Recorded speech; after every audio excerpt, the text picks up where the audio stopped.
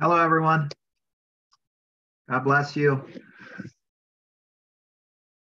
Let me get situated here a little bit better.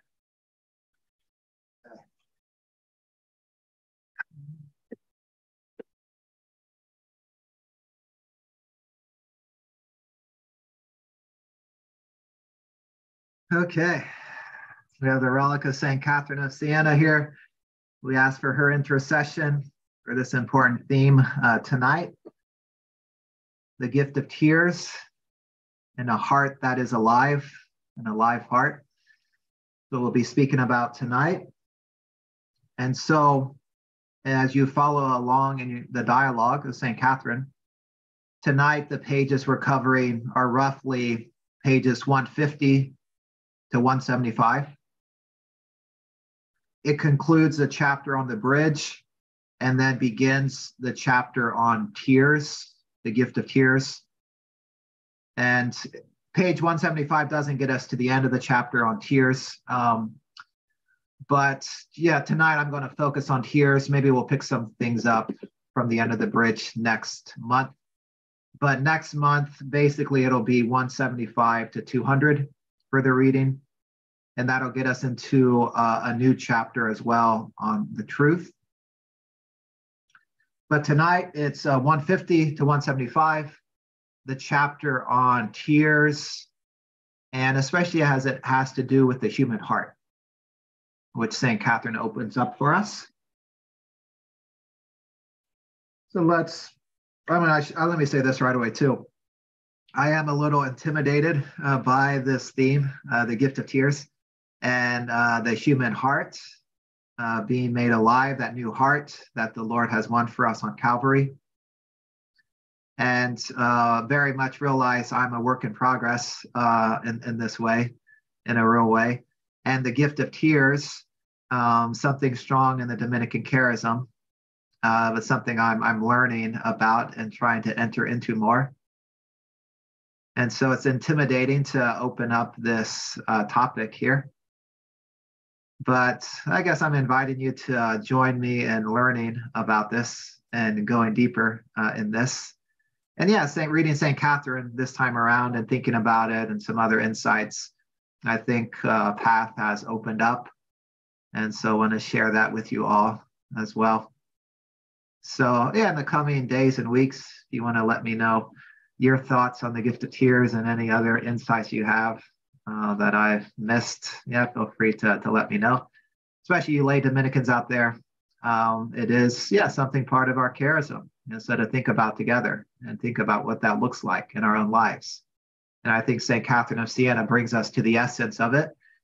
Um, and it can it can help us to to see what it looks like in our own life, even if we're not um, ruining our eye tear ducts like Ignatius of Loyola did for weeping so much. Um, there's a deeper reality here uh, that we also we need to hear and we need to grow in.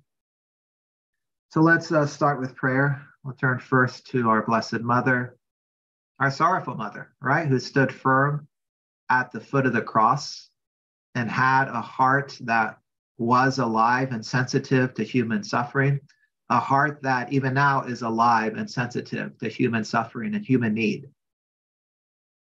A mother's heart. So we draw close to Our Lady as we pray Hail Mary, full of grace, the Lord is with thee. Blessed art thou among women, and blessed is the fruit of thy womb, Jesus. Holy Mary, Mother of God, pray for us sinners, now and at the hour of our death. Amen. Lord, you call us on the way of salvation to also work for the salvation of others. You call us to have a heart for you, but also to have a heart for others, a heart that cries out for our brothers and sisters and their salvation, that cries out for our brothers and sisters and their growth and holiness, that cries out for our brothers and sisters in their need and sorrows with those who sorrow and rejoices with those who rejoice. So, Lord, give us a heart that's alive, that's sensitive to these things. Give us a heart after the heart of your Son, Jesus Christ, pierced out of love for us. We ask all this in the holy and saving name of Jesus Christ our Lord. We ask you, Lord, to guide this, this uh, talk tonight and guide our minds and hearts. St. Dominic, pray for us. St. Catherine of Siena, pray for us. St. Vincent Ferrer, pray for us. St. Thomas Aquinas, pray for us. St. Martin de Porres, pray for us. St. Catherine de Ricci, pray for us. John Tauler, pray for us. In the name of the Father, and the Son, and the Holy Spirit. Amen. So, the gift of tears it is a rather important theme in early monasticism as well. There's a theme in early monasticism. You enter monastic life and you have a heart of stone. You have a heart that's dead. You have a heart that's not alive to the Lord and a disordered heart. And monastic discipline is about heart surgery. It's about getting your heart right before the Lord and uh, giving you a heart that's alive to the Lord and the things of God, alive with love. And so, early monasticism, uh, there is this theme that, yeah, the, the hermits enter, and there's a process of striving, rising from our sloth, and that there's often a breakthrough, a gift of tears, uh, new fervor, new vigor, new compassion in the heart for the others after years of monastic uh, practice and prayer and penance and offering yourselves to God uh, for the sake of others too. And so there's a key theme in monasticism about compunction, or penthos is the Greek word. Uh, the great um, Jesuit scholar Irénée Hausherr, he wrote a great book on the Jesus Prayer, but also has a great book called Penthos that looks at this theme of compunction, contrition, and monasticism and shows it's not such a dour thing as you, you might think. Uh, but it's mingled with joy, and that it's about getting that new heart, opening ourselves to the Lord to form in us that new heart He's won for us on Calvary. And so the monastic tradition, then, with compunction, has us going before the, the crucified Christ. Um, and, you know, contrition uh, literally means like breaking, the breaking the heart, a broken heart, a broken and contrite heart, O Lord, you will not spurn. We pray at the end of Psalm 51. Compunction, too, um, literally is like a striking, a piercing. Uh, and so in our penitence, especially during the season of Lent, right, uh, we emphasize a little more compunction, contrition, and that's supposed to break our heart open, break our heart open to the new thing the Lord wants to do give up, break our hearts of stone, to open ourselves to having hearts of flesh, as Ezekiel promises in chapter 36, and the promise of the new covenant and a new heart.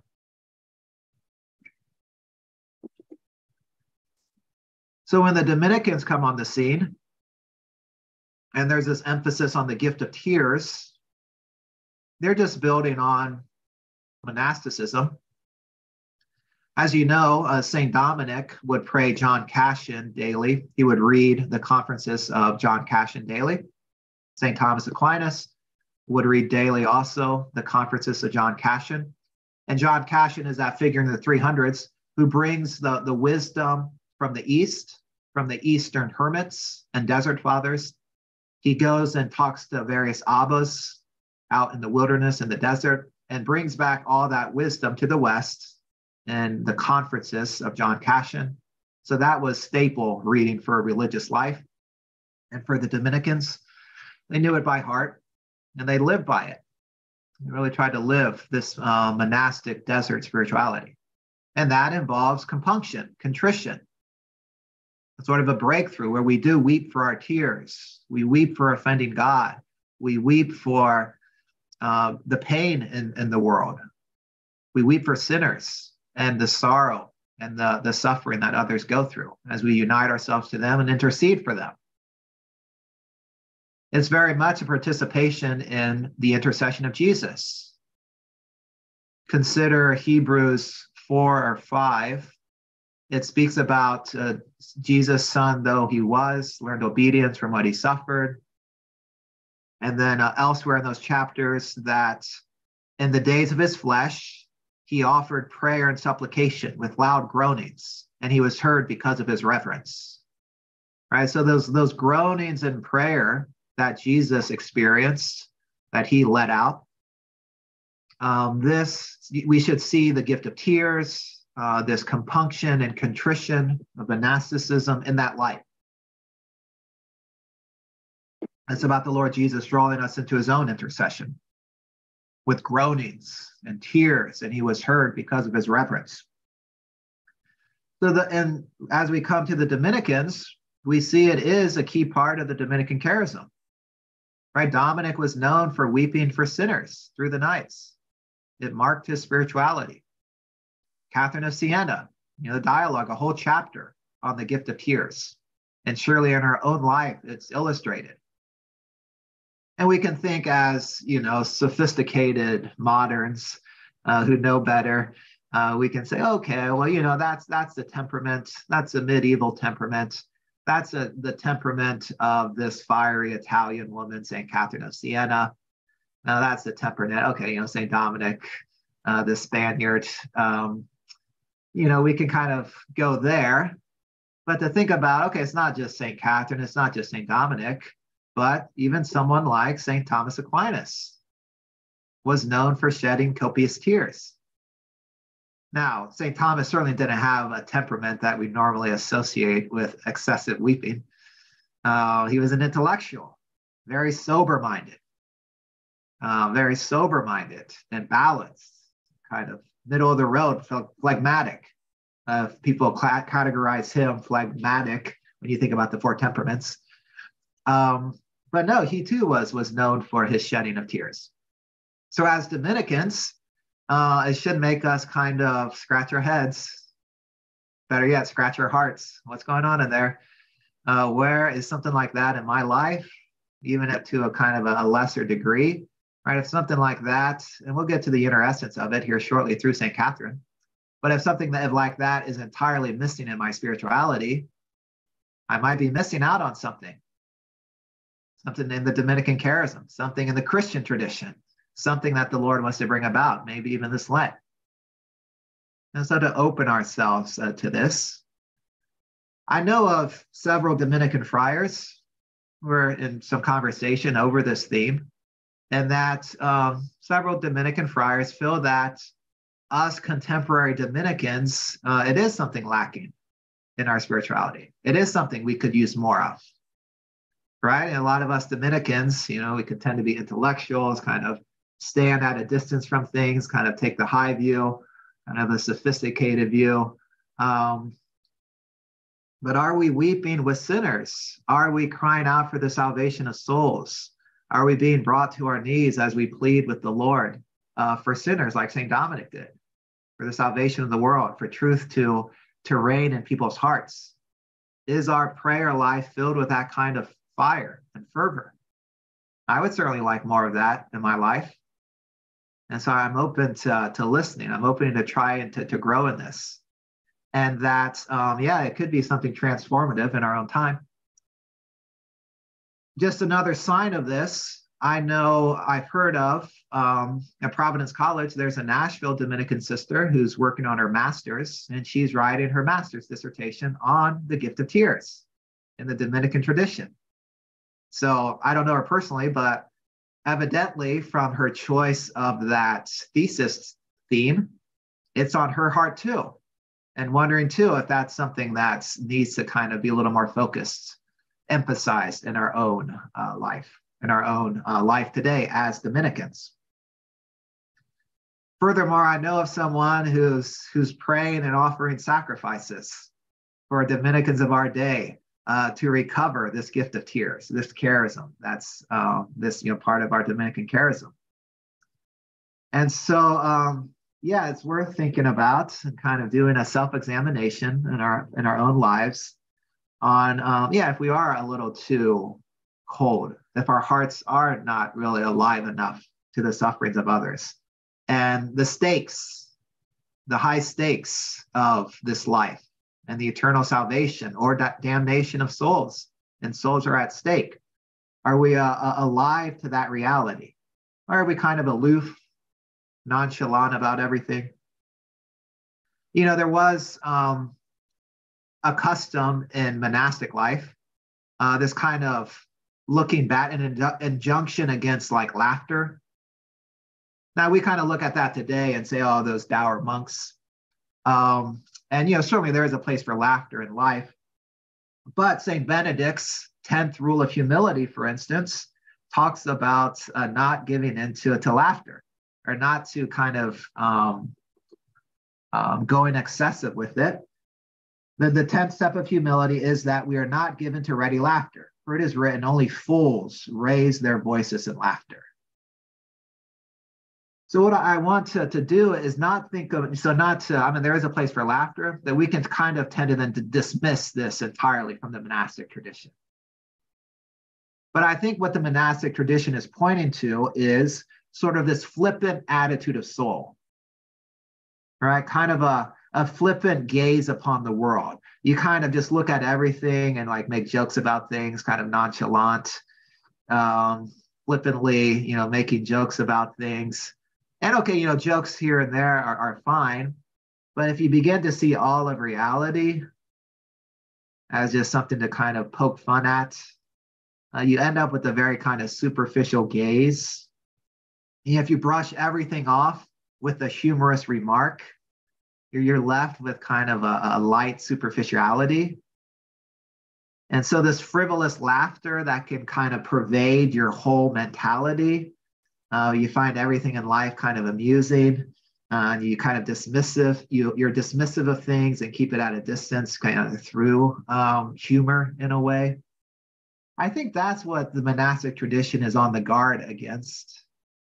And I did notice that when I was um, a Carthusian for those six years, that uh, I, I did I kind of felt like I knew what the monastic tradition was was getting at, yeah, there are ways in which kind of just everything becomes kind of a lighthearted um, kind of um, joke or kind of amusement.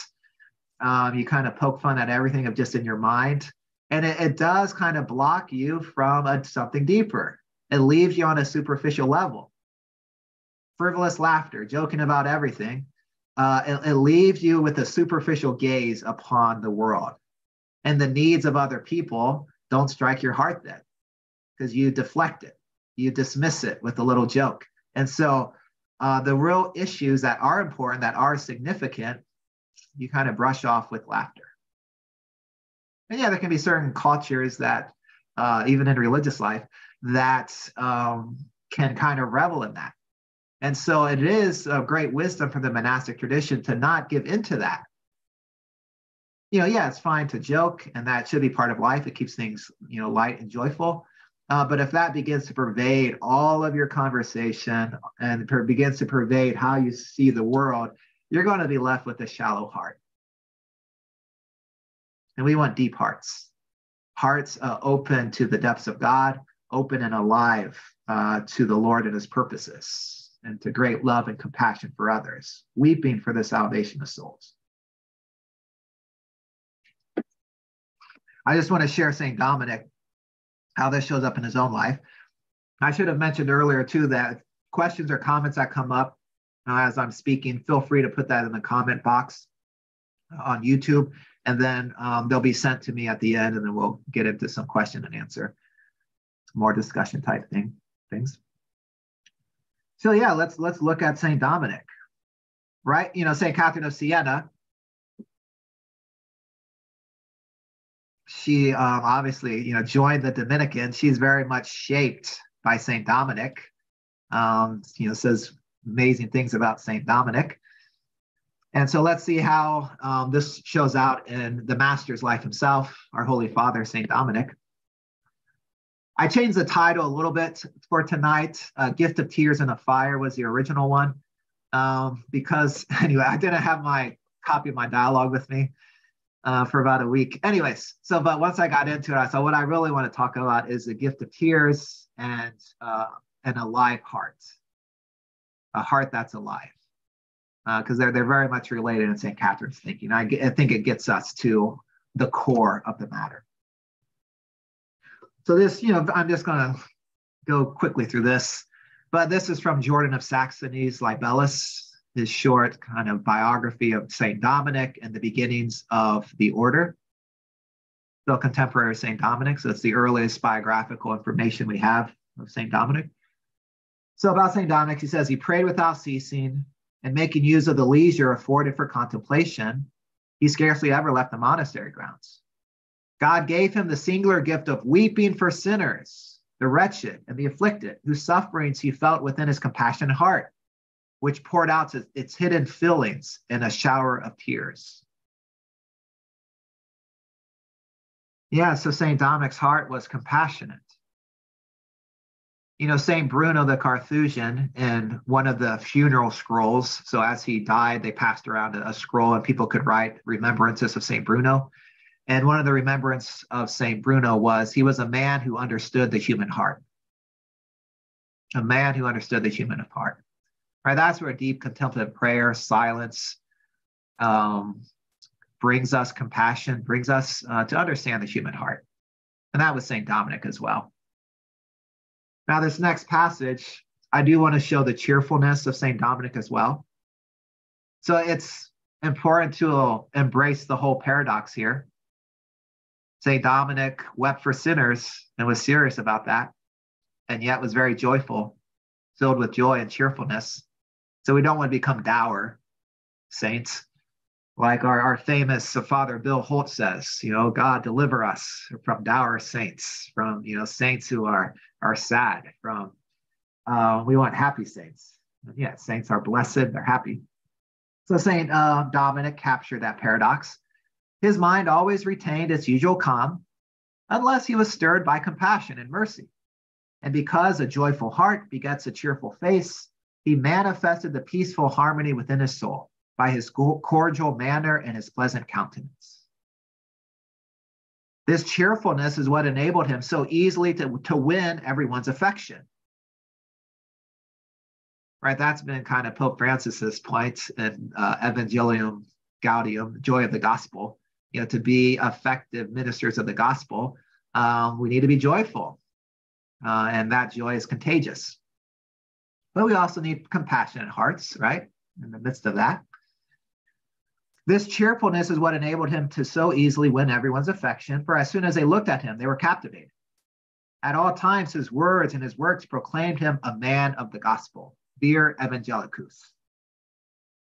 During the day, none was more affable, none more pleasant to his brethren or associates. At night, none was more constant in prayer or watching. In the evening, tears found a place with him, and in the morning, gladness. The daytime he shared with his neighbor, but the night he dedicated to God. For he knew that in the daytime, God has commanded his mercy and a canticle to him in the night. He wept frequently. Indeed, his tears were his bread day and night. In the day, he shed tears during his Mass, and at night, during his untiring vigils.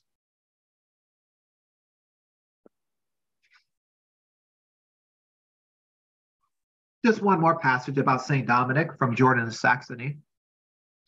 Just to show how this gift of tears it's linked to yearning for the salvation of souls. St. Catherine of Siena in her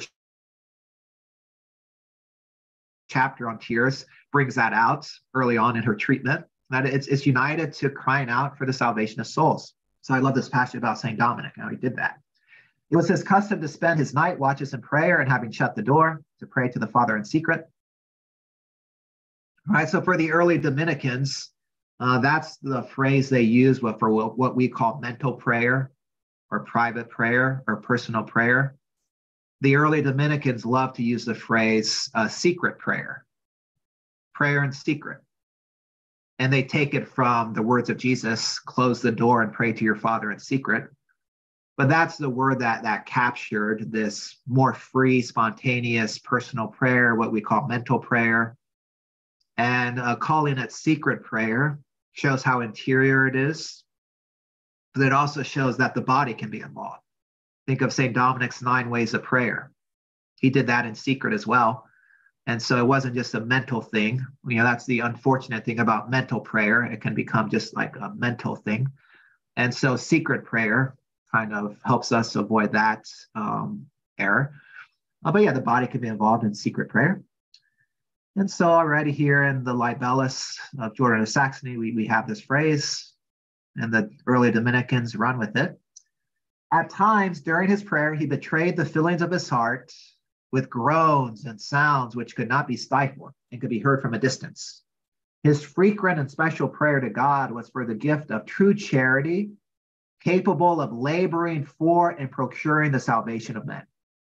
Since he deemed that he would be a true member of Christ only when he could devote himself entirely to winning souls, like the Lord Jesus, the Savior of all men, who offered himself completely for our salvation. Right, it's nice. You know, we see here uh, Dominic as a young man he's praying for the charity to be able to do this. We can kind of take that for granted. We can kind of think that, okay, I'll strive to work and desire the salvation of souls, but to kind of think we can do it by our own efforts. No, it's the grace of God that we have to plead with Him for, that we have to ask. Lord, give me the charity to be able to offer myself as a complete and living sacrifice. It doesn't count the cost. That does it in season and out of season. That does it throughout the day through the high points, through the low points. We need that grace of charity to offer ourselves as a living sacrifice. We need to ask for it. Ask, seek, knock. And when we ask, seek, and knock for things unto our salvation, uh, for the good of souls, for the glory of God, we're praying in Jesus' name. And it, it's a prayer that's infallibly answered. The Lord's faithful. When we pray for the right things, He's faithful. So to pray for things we might take for granted, uh, like for the charity to offer ourselves completely as a living sacrifice for the salvation of souls. St. Dominic prayed that a lot as a young man, as this passage uh, suggests, and the Lord heard his prayer and answered him. And he was kept humble when he received it because he saw it was a gift from God and he had cried out for it so much.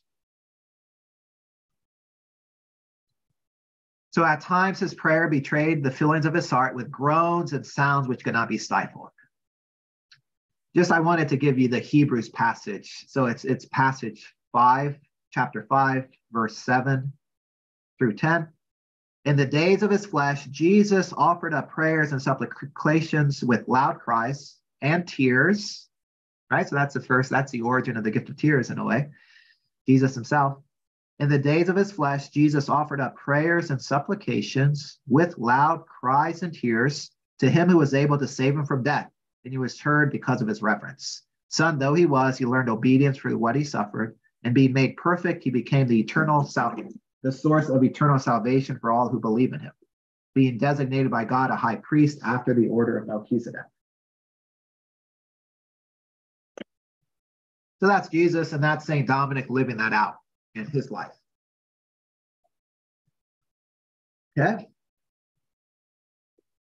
And we'll see a little later in St. Catherine of Siena, she talks about who is it that weeps? You know, when we weep, when we cry out for sinners, uh, she notes it's the Holy Spirit weeping through us. And then she cites that verse from Romans 8. The Holy Spirit uh, prays in us with groaning, right, beyond all expression. Um, so, yeah, ultimately, it's the work of the Holy Spirit in us So that's St. Dominic, source of our charism. St. Catherine lives that out well.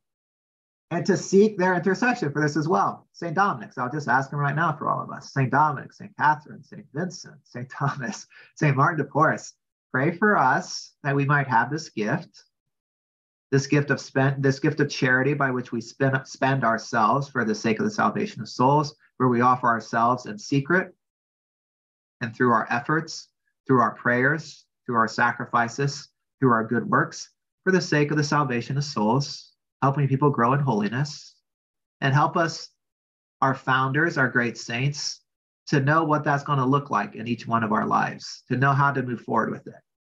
We can't do it without your intercession, without God's grace. So take us by the hand and help us with this. And they can help us. There's a story in St. Catherine's life that I really love, and I hope she repeats for us. She was visited one time by a Franciscan. Uh, so, okay, you know, already kind of the, the story set. a Franciscan scholar visits St. Catherine, and uh, he's skeptical of St. Catherine. And he's a great scripture scholar. He's known for his profound classes. And um, okay, we know the stage is set, kind of this overly intellectual Franciscan coming to see uh, St. Catherine and kind of wanting to kind of prove her wrong or kind of prove her a fraud or people are making too much of her.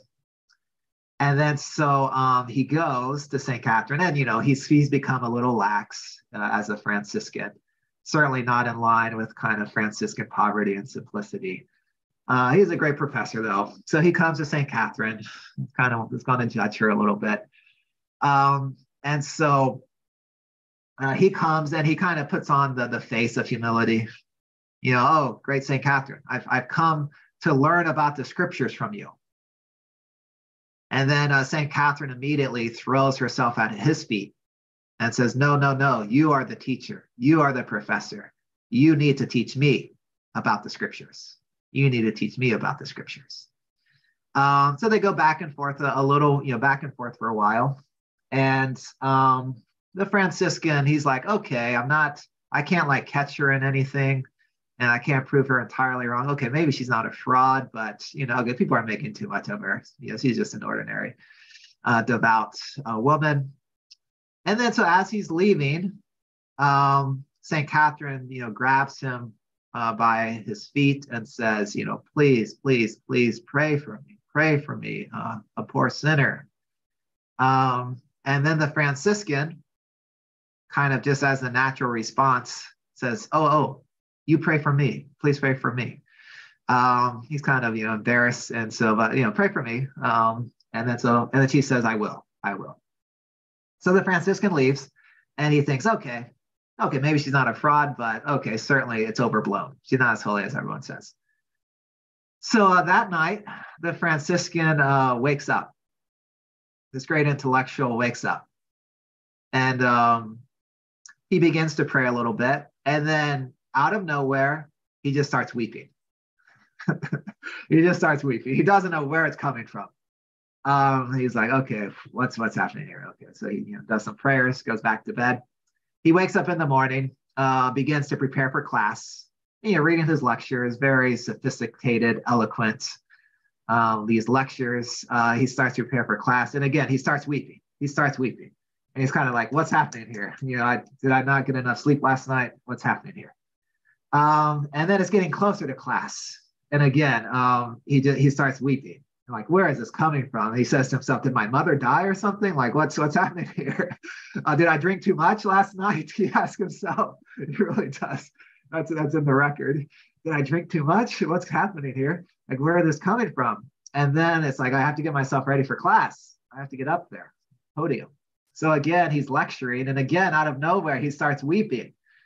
Um, and then class ends and he has a little downtime and then finally it occurs to him saint cat you know that woman saint catherine prayed for me she prayed for me uh, and she won for him the gift of tears saint catherine's intercession uh, brought this kind of haughty intellectual to his knees brought him back to the, the fervor uh, that he began with as a franciscan and you know he sold all these possessions uh, embraced poverty in a new profound way and lived a very fervent uh, franciscan uh, religious life for the rest of his life.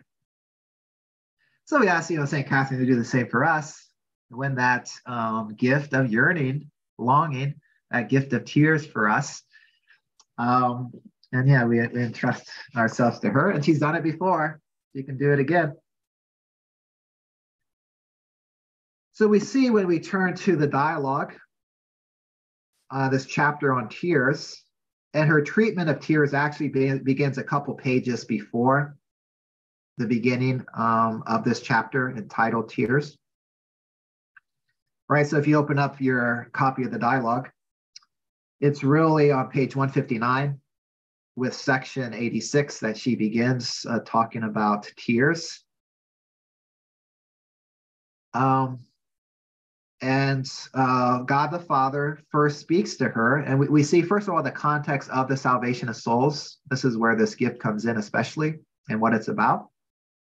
God the Father says to her, I have told you all this to make you shake up the fire of your holy longing and compassion. So the Lord tells her about what's happening in the church, how um, there's so much need, how people are falling away.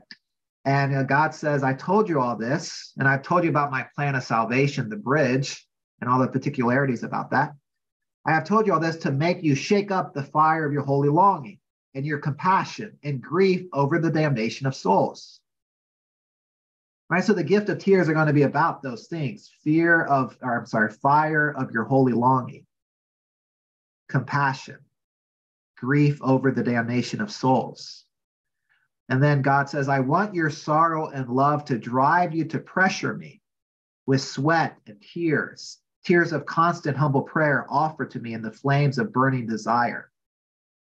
And not just for yourself, but for so many others of my creatures and servants who will hear you and be compelled by my love to beg and pressure me to be merciful to the world and to the mystic body of Holy Church.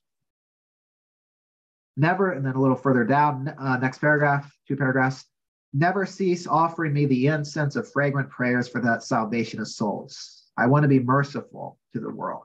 With your prayers and sweat and tears, I will wash the face of my holy bride.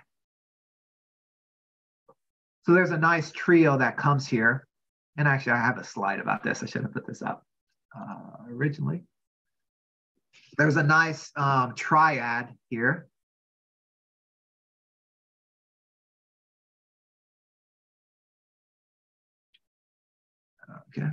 And the triad is tears, is prayer, tears, and sweat. Prayer, tears, and sweat. Yeah, I'm sorry, here it is. and God will wash the face of his bride with our prayer, sweat, and tears. So we see that this triad, that the three are connected, and it's all about compassion, it's all about burning desire, it's all about pleading for the good of others, the salvation of souls. You know, we when we hear this phrase, salvation of souls, we want to hear that in the broadest sense. We don't want to just hear it as uh, simply saving people from damnation. Or that, you know, that's enough in itself, of course.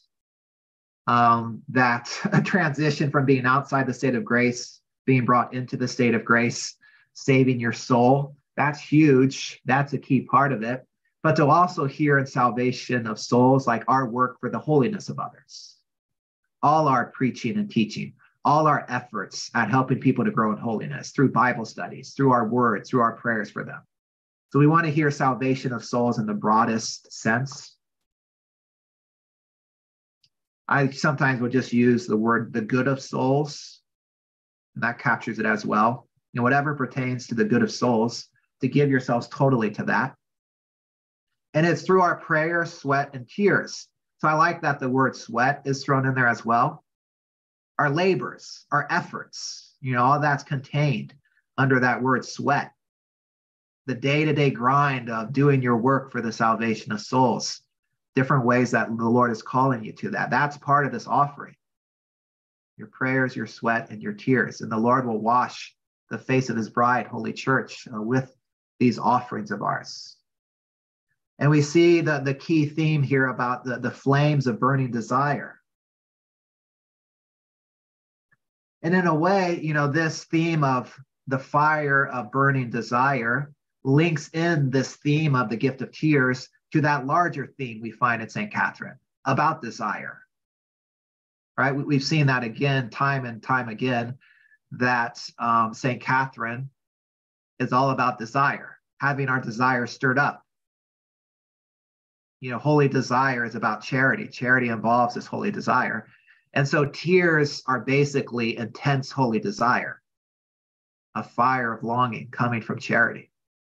And sometimes that shows itself in literal tears. Sometimes that fire just burns within and that's you know where there can be differences of temperament.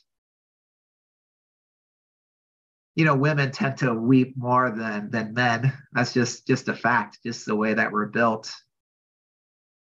I i've uh, growing in my awareness of this. Um i mean yeah so i asked um so the, uh, the, the, devout woman who i don't wouldn't think of like as a very emotional woman but it came out in conversation um, and I'm like, well, I mean, how often do you think you weep? Is what I asked at some point. It, it was, there was a context to it.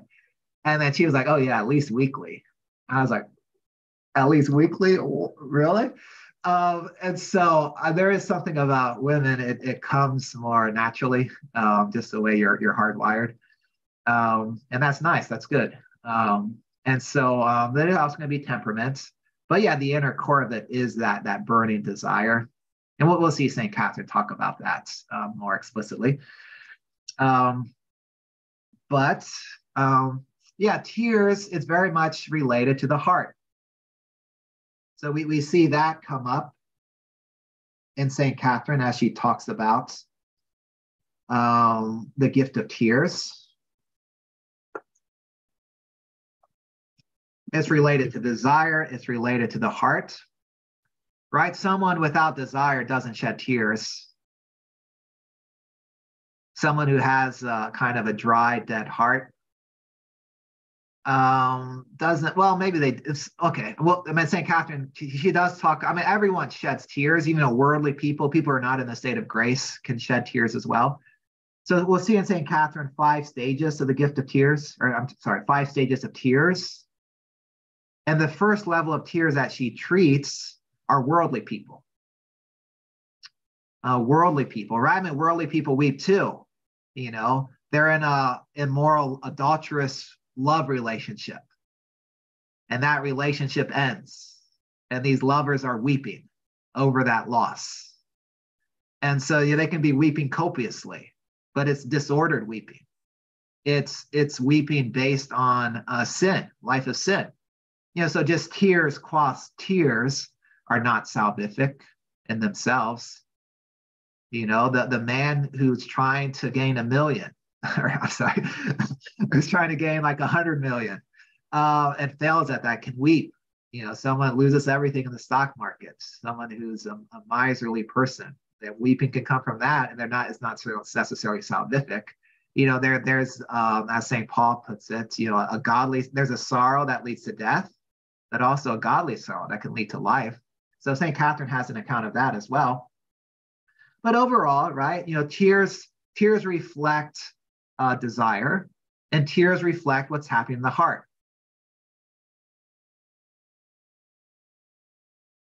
So tears are a sign that's the heart of uh, that the heart is alive. That something is going on in the heart. Um, so you know you can weep for ungodly things. Things don't turn out as you want. There can be tears of self pity. And so, uh, you know, a question we can ask about the gift of tears is not just how much you weep, but, you know, what are you weeping for?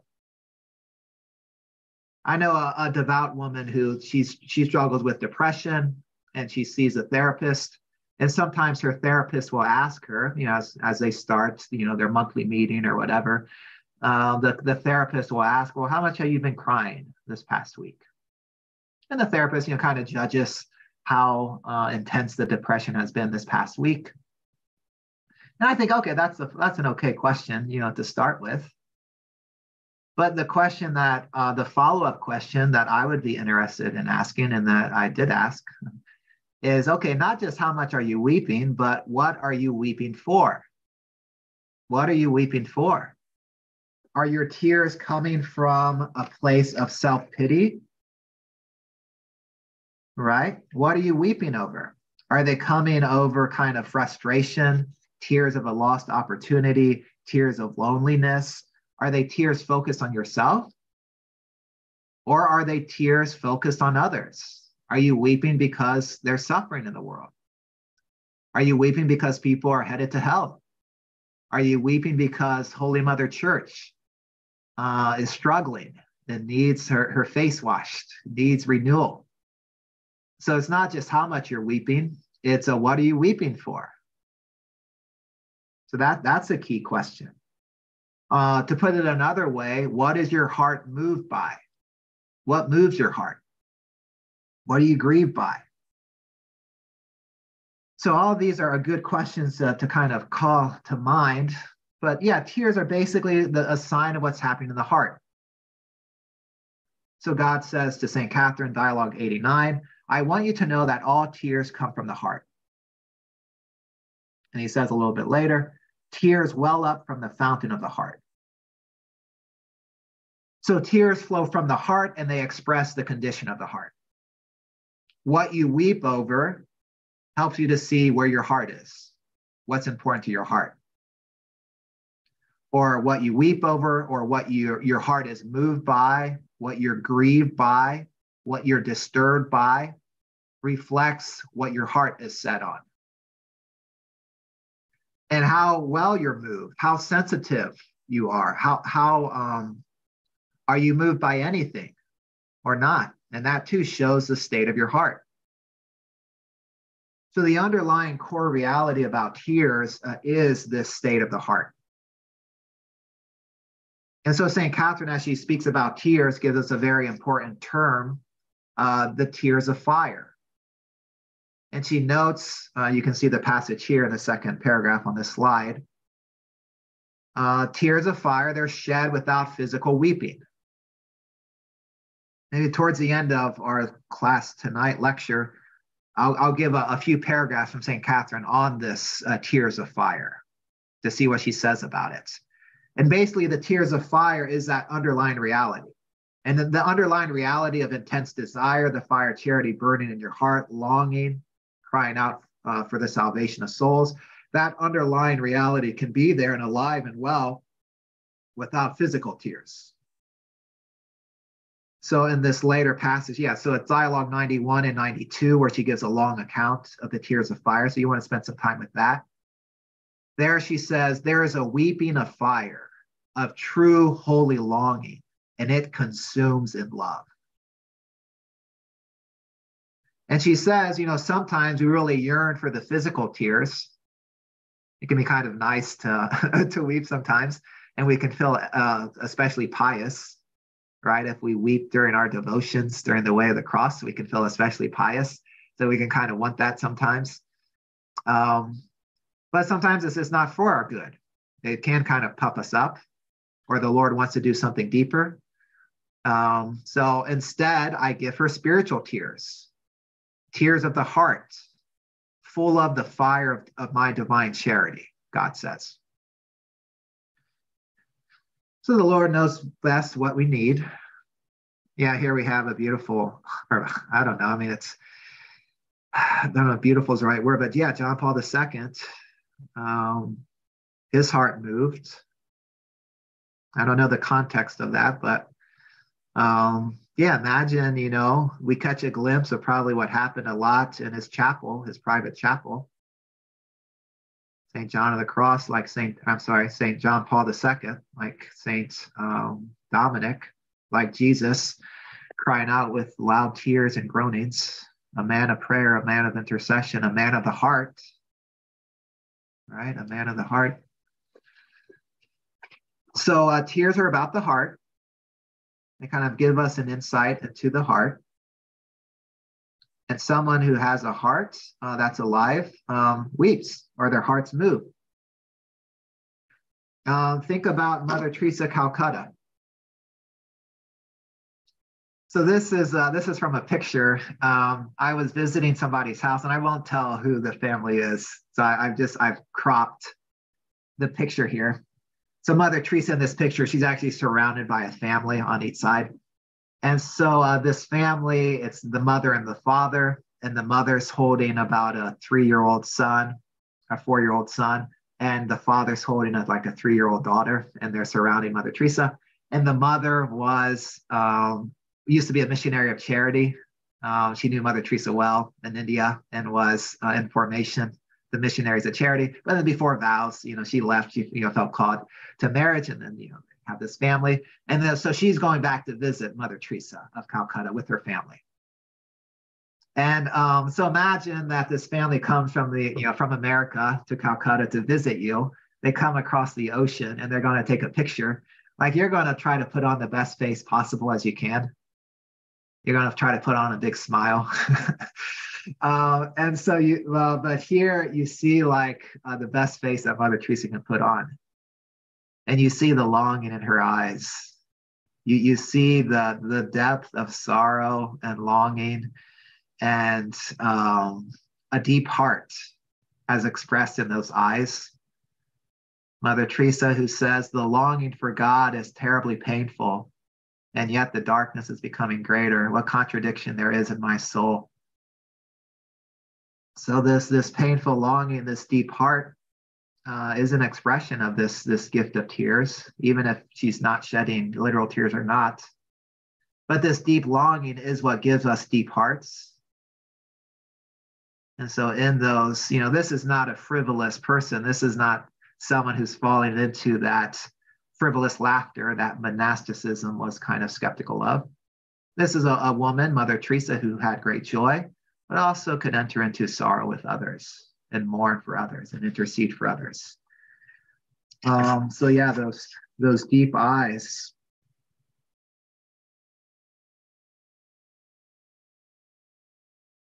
Okay. So this is um, so this is from Saint Catherine.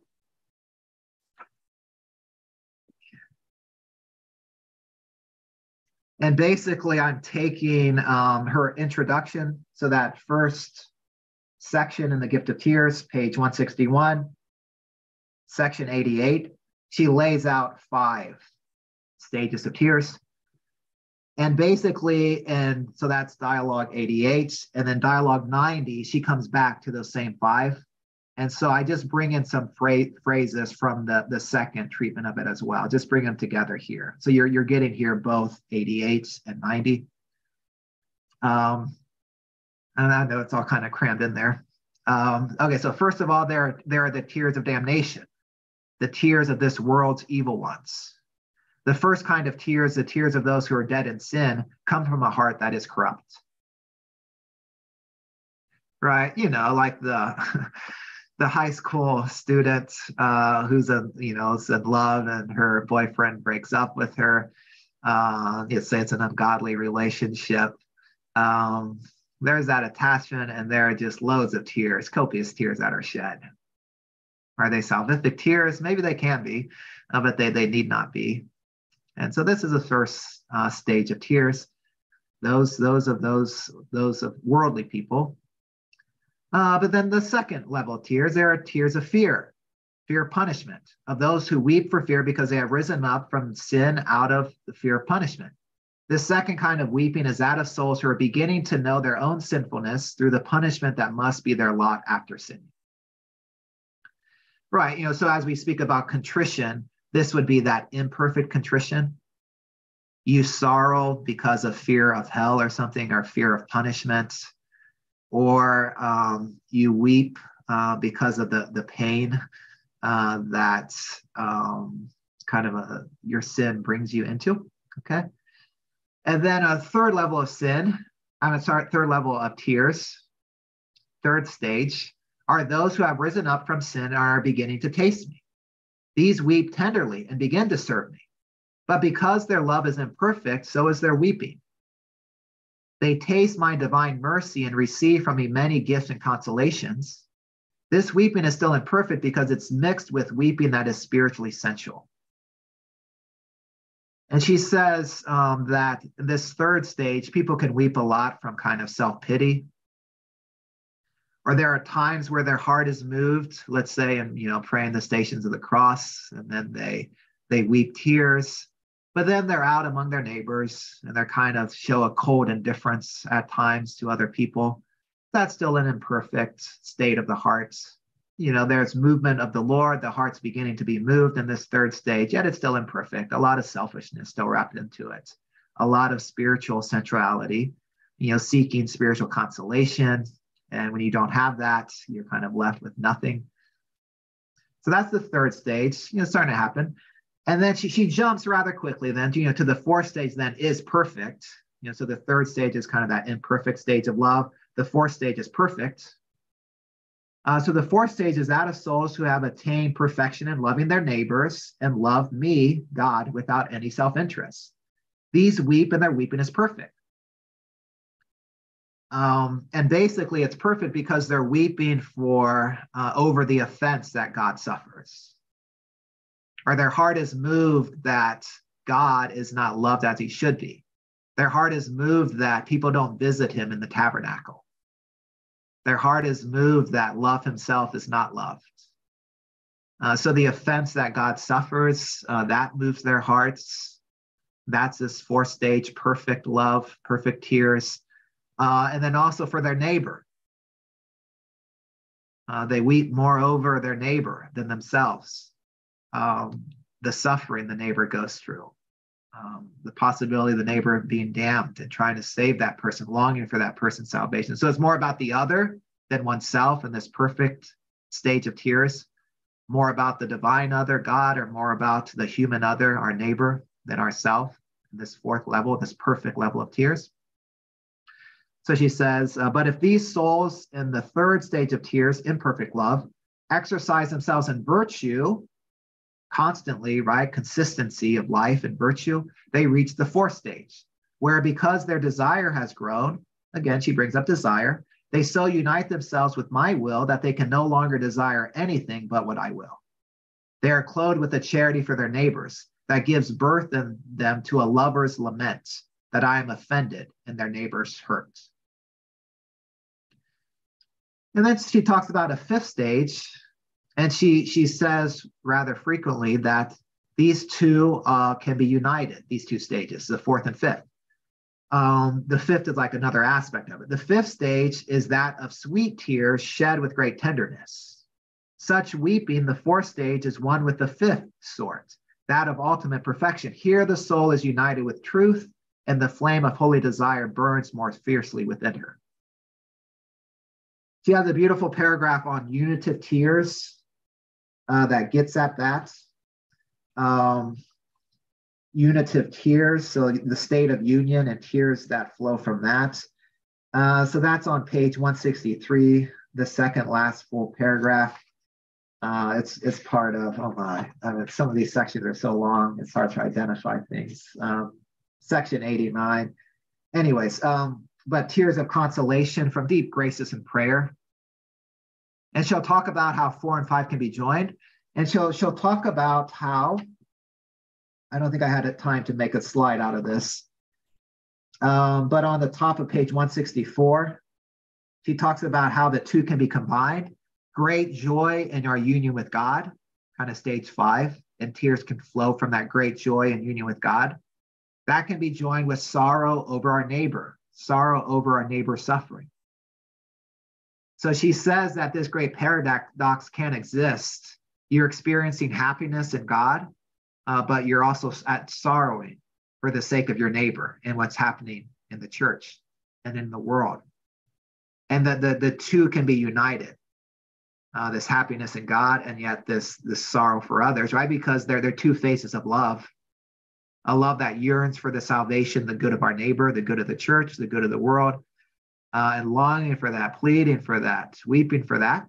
United also with a happiness, being united to God. So the fourth stage united to the fifth stage. She has some things about that, which is helpful. Top of page 164. Um, okay.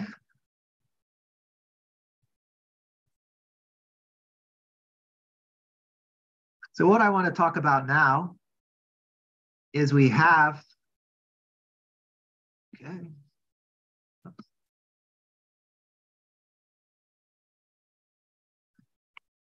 So I think we, we have a good sketch there of what's, and I, am looking at the time. Um, so uh, 15 minutes, I hope.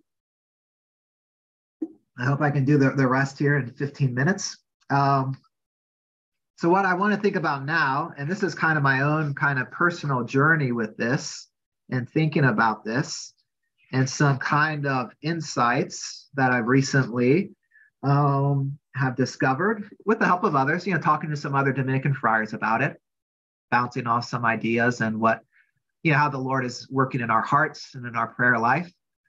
Um, you know, for like I committed with another Dominican friar to kind of join together this Lent in praying for kind of a new gift here gift of tears you know whether it's you know always shows itself in literal tears but um but also the tears of fire. And yeah that's what we're, we're more interested in right? In that inner reality the core of it.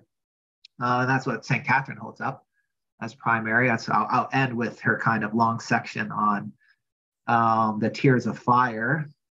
Um, And so, but yeah, to, to have that, it's going to be a grace. So we're united. I mean, we're just, it's a small thing we're doing together, but just praying on Psalm 51 uh, daily and, you know, spending time with Psalm 51, meditating on it uh, as uh, you're bringing about that contrition of hearts. You know, Lord, bring us, uh, give us a contrite heart, a heart that's broken and humble, uh, a heart that is moved um, more and more uh, in tune with God's heart so we're united together and praying with with one another for one another in this regard and uh, committed to the, this practice.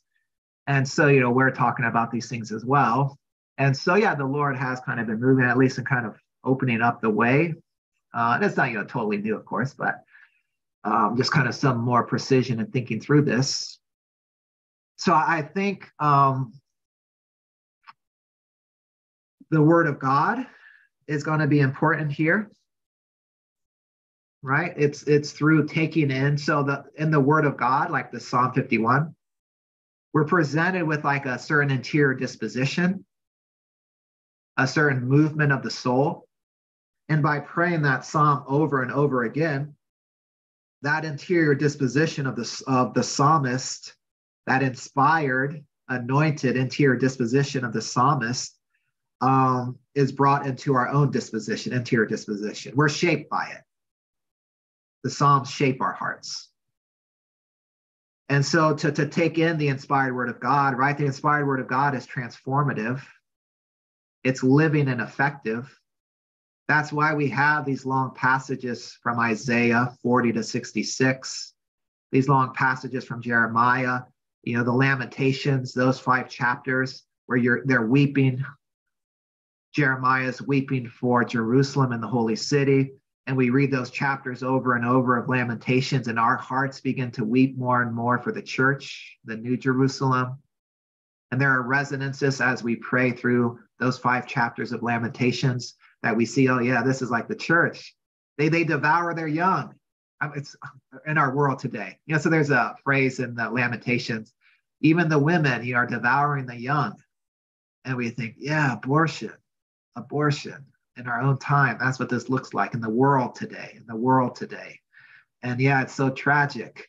And to, to kind of enter into that inspired word of God, Lamentations, that enti- inspired disposition.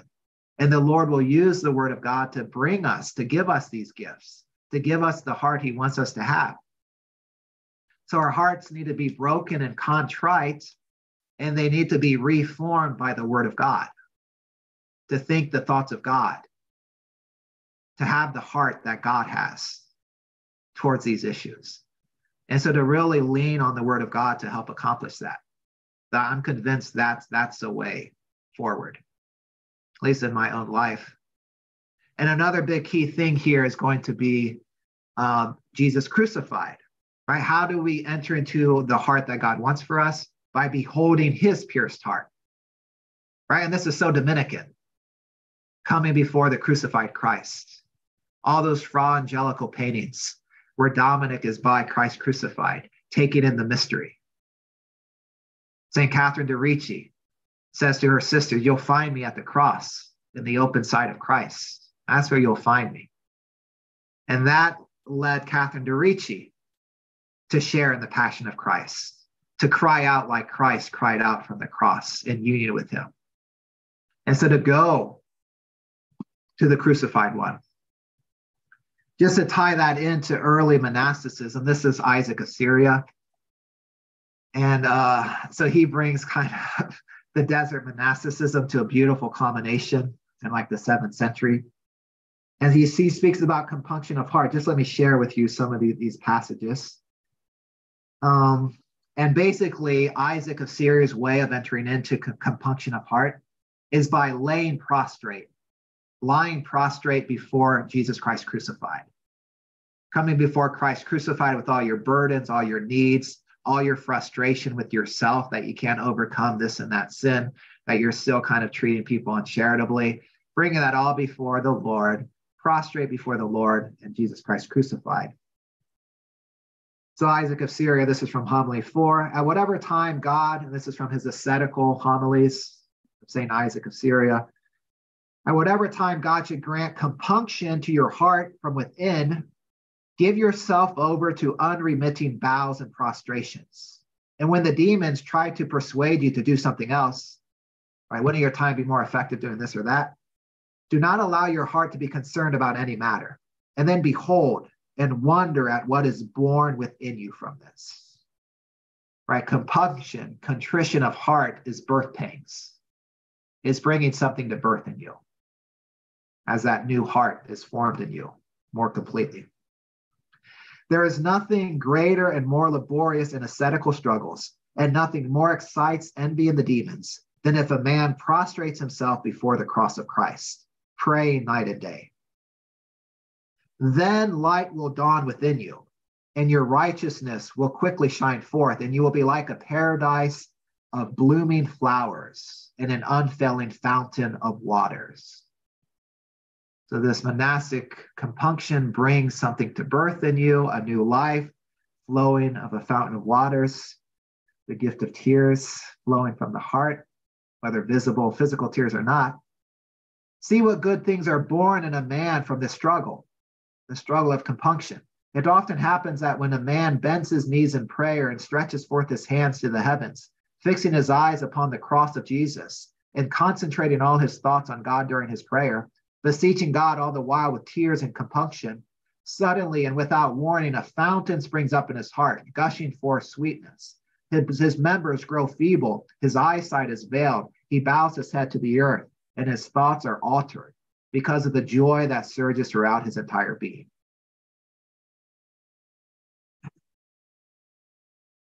So that's, um, let me just read a couple more passages. But this is what the monastic tradition is about in this compunction and, and the gift of tears. Uh, this is from uh, the appendix, additional homilies, number five. Um, so, okay, so I'll, I'll, end with that one. Okay, so this is uh, number appendix of homilies A, number seven.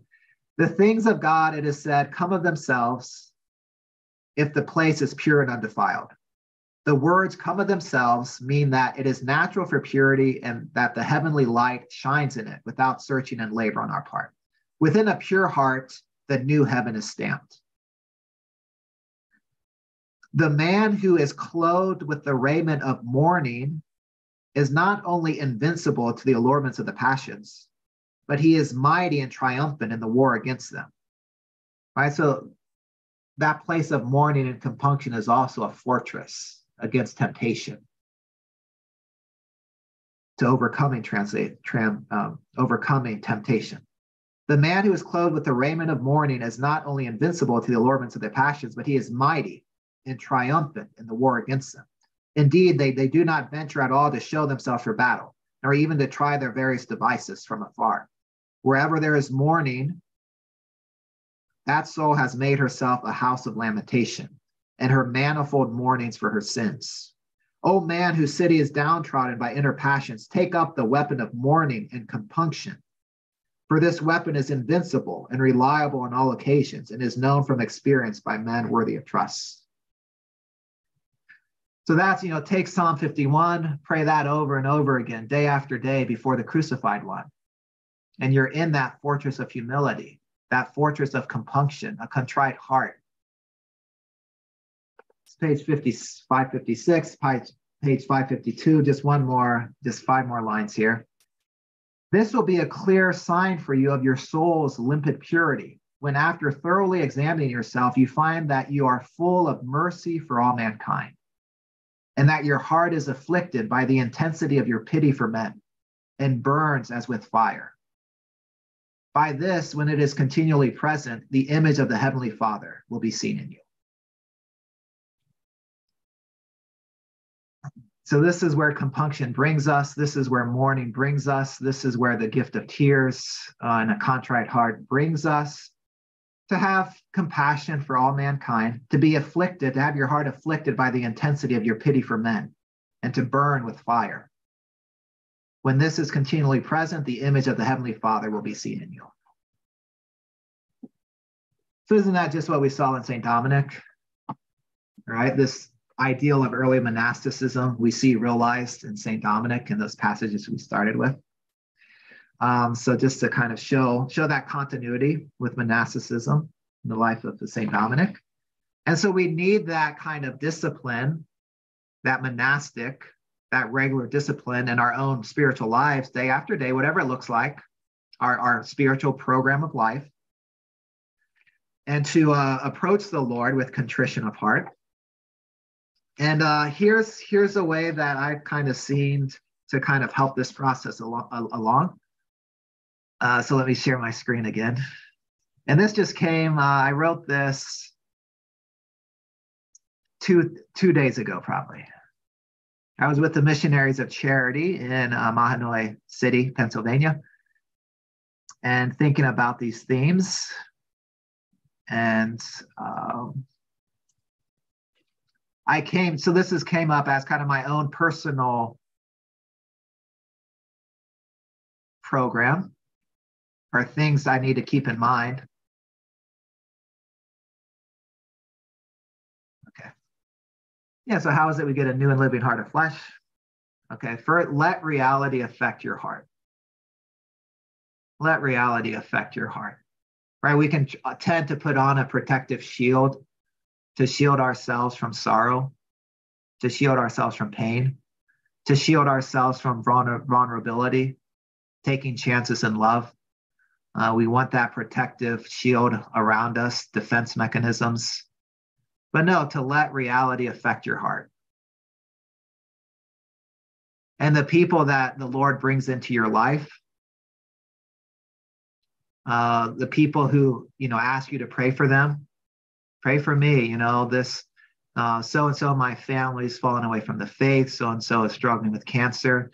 And as they open up their heart to you, uh, let that affect your heart.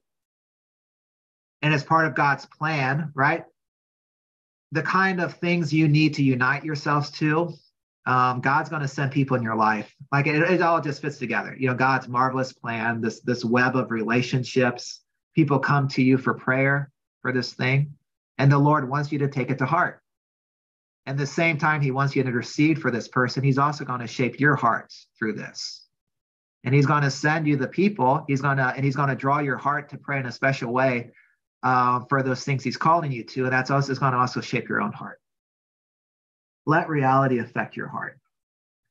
I'm going to spend probably the most time on just the first one. Uh, and so okay so but um, this is from dietrich von hildebrand so he wrote uh, kind of a classic work uh, in the 1930s and 40s called liturgy and personality and uh, he makes the point in there that, you know, what gets our heart right, what moves our heart is objective reality. Right? You don't move your heart by like trying to force it to happen.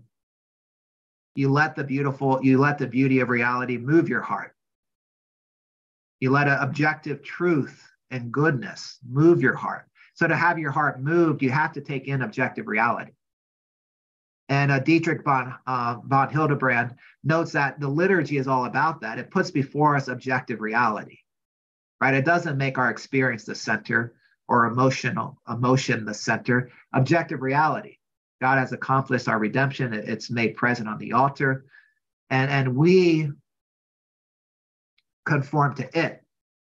We take in the reality, and that shapes our heart you know, there's a place for story here. There's a place for literature. There's a place for Terrence Malick and movies that have deep mean, uh, deep meaning and themes, or you know, just about life. I mean, it doesn't have to be Terrence Malick, but Tree of Life is certainly a good one. Um, that um, stories are meant to move our heart and to take it in, and the beautiful is what uh, gives the soul wings. So that's an old kind of Platonic principle uh, the heart grows wings through the beautiful by taking in the objective beautiful, and then your heart's moved. And so we want to let reality affect our heart in all these different ways. A kind of first, kind of helpful, hopefully helpful uh, lesson here. Uh, number two, soak in the word of God to shape your heart. I've spoken a little bit about that. And, you know, praying the Psalter in the divine liturgy, the office, that's what's happening. Our heart is being shaped by soaking in the Word of God, where we begin to echo what we read in the Psalms. We're David's own heart. A man after God's own heart is what scripture says about David. And so it's no mistake that God has David be the one who writes the Psalter because he's a man after God's own heart. And so to, to take in these sentiments of David's heart, it's going to help us to be men and women after God's own heart. So the Psalms are key here, but all of Scripture as well. So soak in the Word of God, allow it to shape your heart through your continual reading and prayer and Lectio Divina and Scripture memory and so forth. Uh, next, uh, our third or uh, another one, purify your heart through compunction. I've been speaking a lot about that. You know, Psalm 51 Create in me, Lord, a clean heart and a steadfast spirit renew in me. Cast not your Holy Spirit from me. Purify your heart through compunction, contrition, confession, the sacrament of confession. Next one, live in your heart through prayer. Live in your heart through prayer. Find the place of the heart.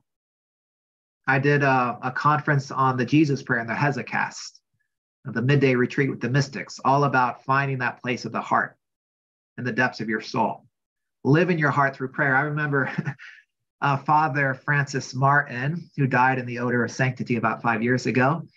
Um, he was teaching us a scripture class, and he said, uh, You were seminarians at, at that time. And Father Francis Martin says, You know, I hope in your confession class, they're teaching you that when you hear confessions, uh, to listen to the confessions from within your heart. So as you're hearing confessions, like enter into your heart and listen to the confessions from there. That deep listening. Um, and he says, I hope they're teaching you that in uh, your, your course on confession. Well, of course, they're not teaching that.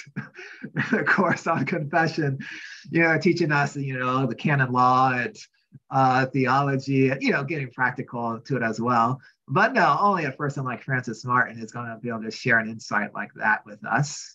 You know, surely Padre Pio also heard confessions from the place of the heart.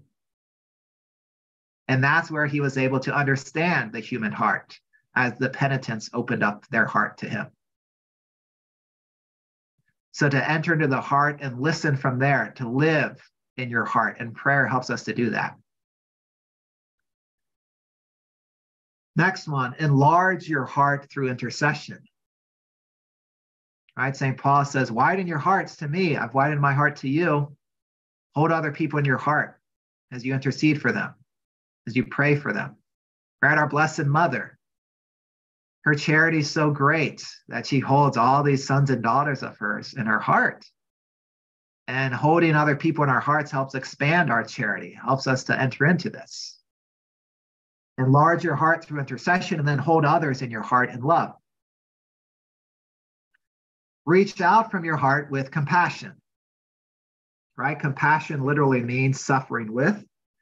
Enter into sympathy with others. Reach out from the depths of your heart to the pain of others people's hearts and have that heart reach uh, that my friend father jesse mango uh, likes as, a theme a heart reach your heart reaching out to other hearts. Next one groan from your heart in the spirit. Yeah we have to get to that in st catherine but romans 8 those deep crying out from the heart. That romans 8 speaks about and ultimately it's a share in jesus' own cry from his heart that Hebrews 5 7 speaks about. Groan from your heart in the spirit. Yeah, there, there is a place for those groanings beyond all expression. The gift of tongues uh, comes in here as well. And you, you can sense in kind of the depths of the gift of tongues uh, this um, intercession and deep solidarity with others and the sufferings of others and, and the groanings of others. There's something like primordial about the, the groan. And so to, to groan from your heart and the spirit. You can't always give expression to it, and you have to give yourself the freedom to enter into that prayer um, beyond expression. Right? Don't be afraid to enter into that place just because you can't give words to the expressions of your heart uh, don't let that stop up those desires of the heart, the movements of the heart. Next one, draw forth from the depths of your heart, right? We have living water flowing up in our heart. Draw forth from that place of your heart as you're preparing talks, as you're trying to give people advice, as you're trying to say the right thing to your neighbor and love. Love people from that deep place of your heart. We don't want to be like superficial people. We want to be like Mother Teresa, who has th- those deep eyes um, and that lives from the depths and draws forth from what we have in the depths, the indwelling Trinity. Let living waters enliven your heart as a garden. That's the Holy Spirit's renewal in our hearts. Ezekiel 36, 24, and, and around there and onwards. I will give you a new heart, put my law in you, breathe a new spirit in you, taking away your heart of stone, giving you a heart of flesh. Allow the Holy Spirit to bring that reality about pray, ask the Holy Spirit to bring that reality about more and more. Hide yourself in the enclosure of Mary's heart. Mary's heart's like a cloister. There's a place for us in our heart. And it's a way of entering into that great selflessness. I'm going to pray from Mary's heart. I'm going to let go of all my own concerns. And I'm going to pray from the center of Mary's heart. She's going to enclose me in that enclosure of her heart. And praying from the center of Mary's heart is to pray from the center of the church, pleading for all people, pleading for the needs of Holy Mother Church. Behold the heart of Jesus pierced for love of you. Right? To come before the crucified one, to come before our Lord in the Eucharist and gaze upon uh, him dying on the cross, his heart pierced open for us, to enter into that place of the heart and to love uh, from there. Receive Christ's love that you might love and return. Okay. Okay, so I'm going to, I should bring things to a close here.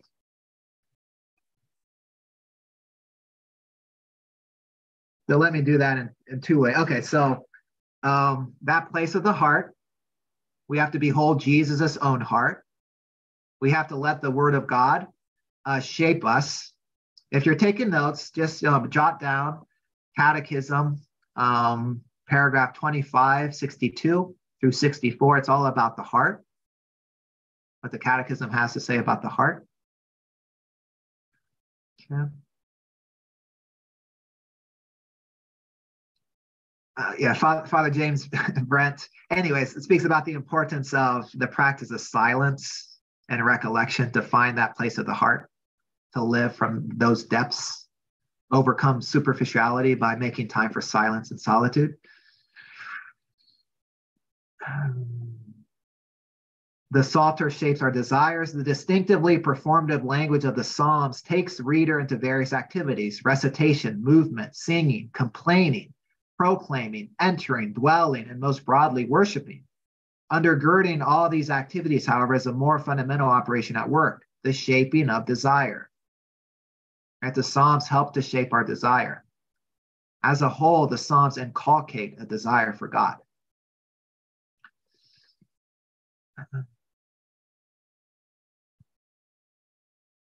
And then to consider here, St. Thomas Aquinas. This is from Catechism 112 and Aquinas notes, the Catechism quotes him, the phrase heart of Christ can refer to sacred scripture. Right? We wouldn't have expected him to make that move. So we ponder, we behold the heart of Christ. We behold the heart of the pierced one by going before the crucifix, like St. Thomas does here in the stained glass window. But we also behold the heart of Christ in sacred scripture.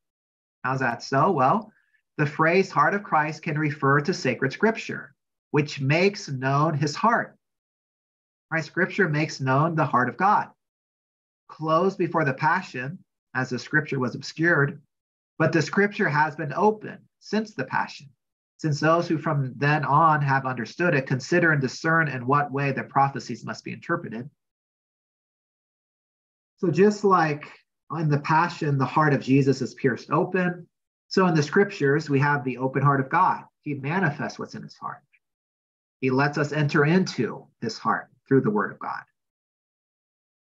So you, you gaze upon the crucifix, you take in the word of God, and you have an encounter with the heart of God in both ways.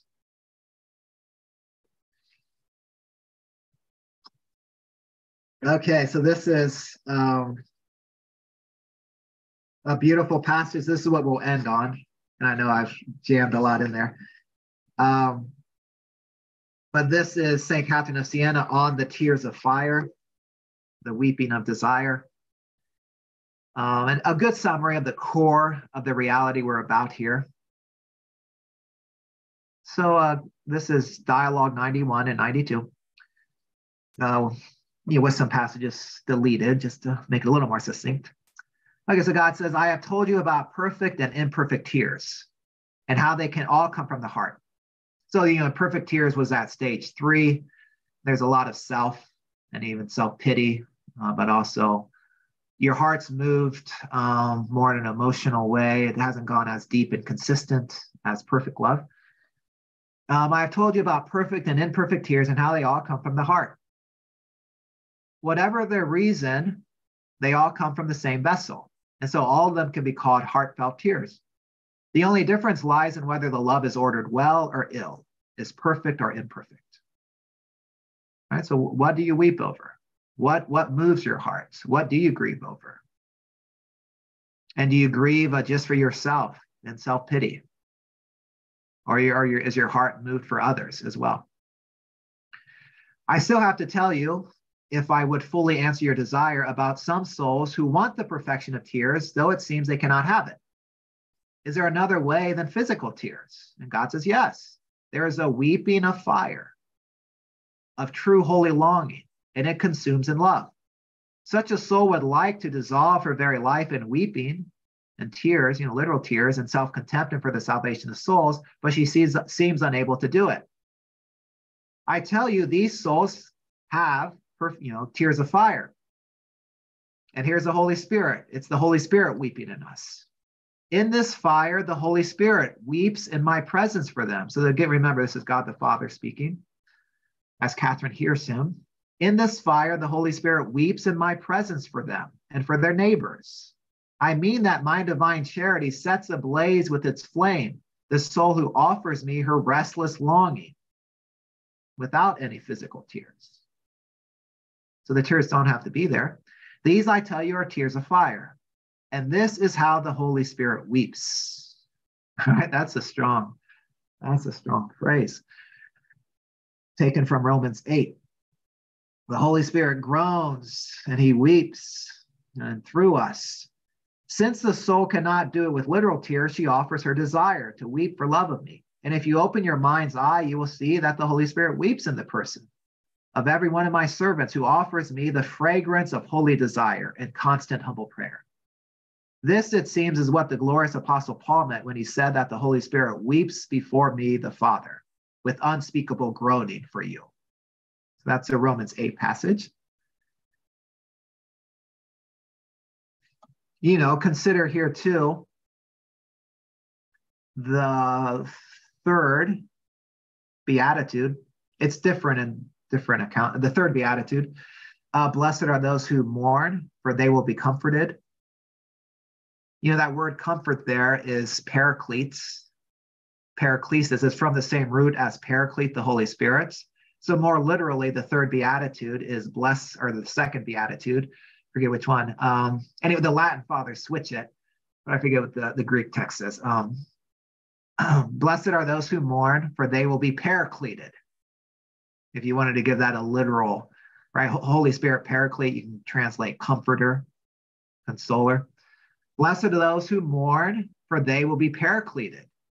So even in the second beatitude, the beatitude of mourning, we see the relationship to the Holy Spirit that St. Paul picks up on in Romans 8. You see, you see the connection there?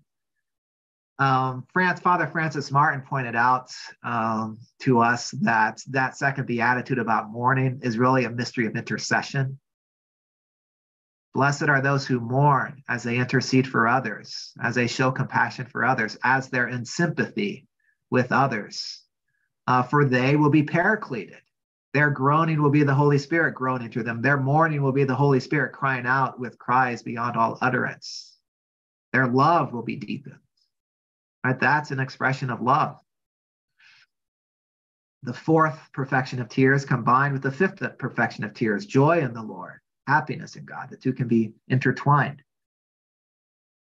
So, um, okay, so second beatitude, blessed are those who mourn, for they will be paracleted, Romans 8, touching on that same mystery and reality. Let's continue with St. Catherine here. So you see, the fruit of these tears of fire is no less than that of physical tears of water. In fact, it is often more, depending on the measure of the soul's love.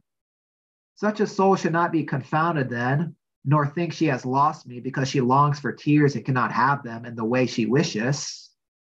She should rather want them in harmony with my will, bowing humbly to yes or no, whichever pleases my divine goodness. Sometimes I prefer not to grant her physical tears, in order to make her stand constant in my presence, humbled, and tasting me in continual prayer and longing. Right, that's another deeper core expression of the gift of tears, continual humble prayer and longing. Think of Dialogue 63, which we spoke about a couple months ago, locking yourself up in your inner cell like the apostles in the upper room with that humble, constant prayer and longing, even when you don't feel consolation. That's that place of groaning. That's that place of the gift of tears in the deeper sense, the tears of fire. I prefer sometimes not to grant her physical tears in order to make her stand constant in my presence, humbled and tasting me in continual prayer and longing. For if she had what she was asking for, it would not be as profitable to her as she thinks. Instead, I give her spiritual tears, tears of the heart. Tears of the heart, that's another beautiful phrase, full of the fire of my, of my divine charity. Right? So that's at the heart of it, right? These spiritual tears, tears of the heart, full of the fire of my divine charity. let, let me let me linger just a moment longer on um, okay sometimes i prefer not to grant her physical tears in order to in order to make her stand constant in my presence humbled and tasting me in continual prayer and longing. So that continual prayer that dryness that emptiness for the lord that crying out that thirst for the lord is also a place of those tears.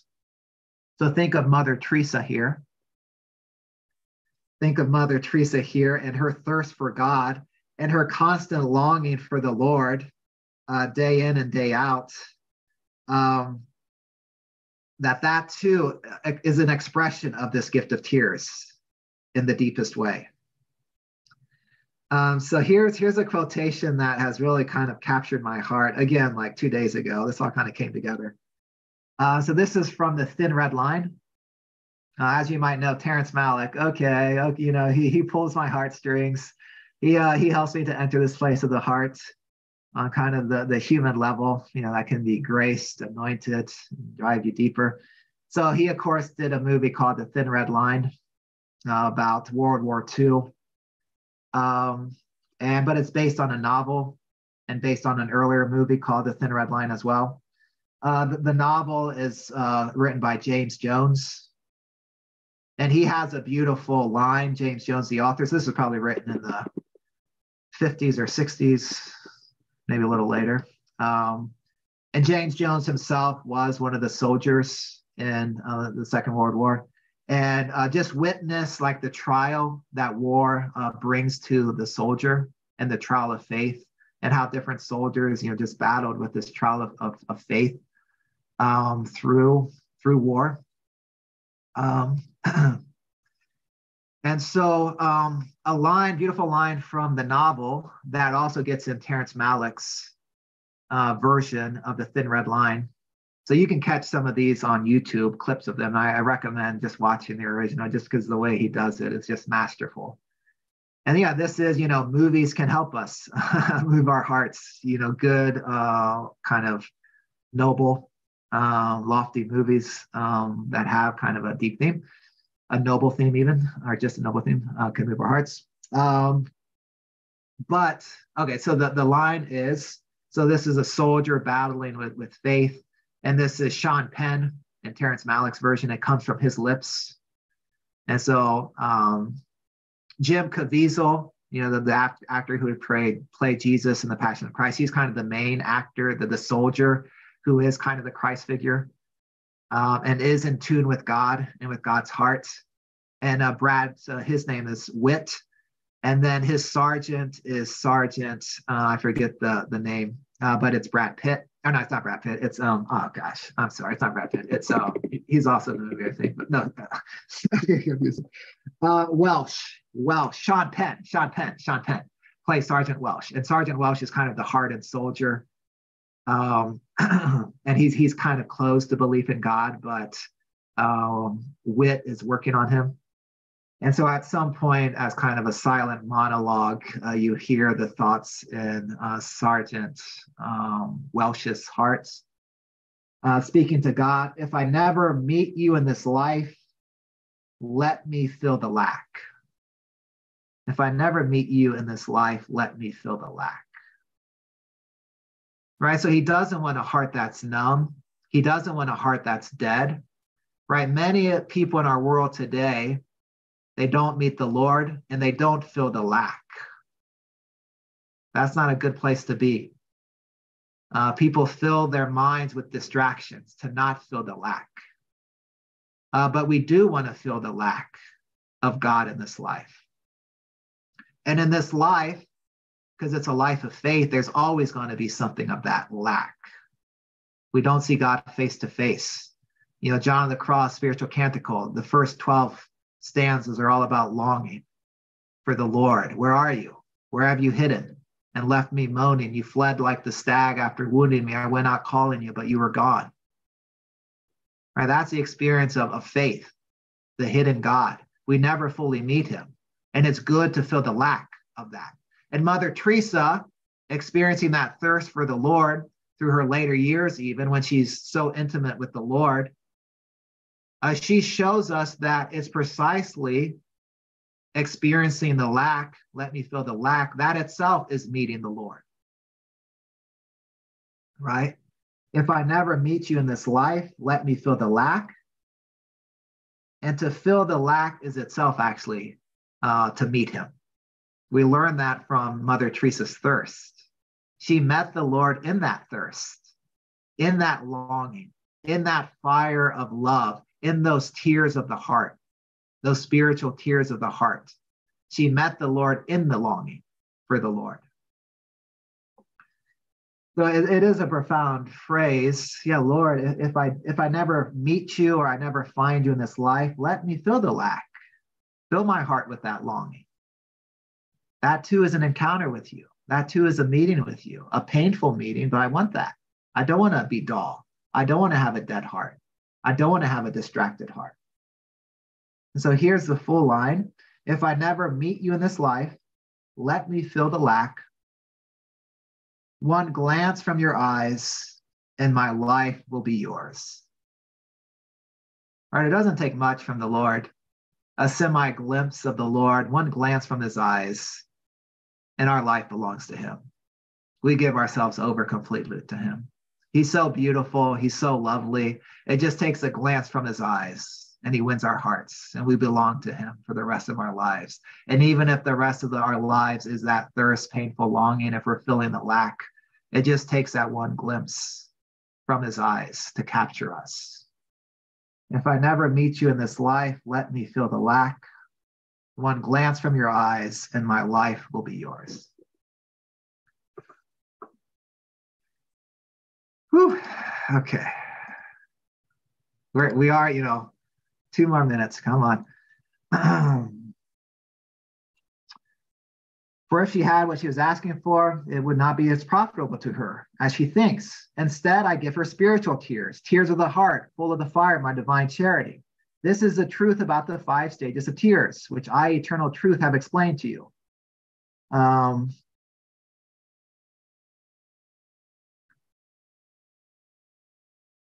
My sweetest daughter, drown yourself then in the blood of Christ crucified, the humble, tormented, spotless Lamb, my only begotten Son. Keep growing in virtue so that the fire of my divine charity may be fed within you. The five stages I have spoken of are like five great channels four of them, so you know, not the, the first stage of the worldly sorrow. The other four of them flow freely with an infinite variety of tears that are life giving if they are used virtuously. How are they infinite? I'm not saying that in this life you should weep infinite, infinitely much. I call them infinite because of the soul's infinite desire. I have told you how tears well up from the heart. The heart gathers them up from its burning desire and holds them out to the eyes. Thus are fire and tears made one in burning desire. And because desire has no end, it cannot be satisfied in this life. Rather, the more it loves, the less it seems to itself to love. So love exerts a holy longing, and with that longing, the eyes weep.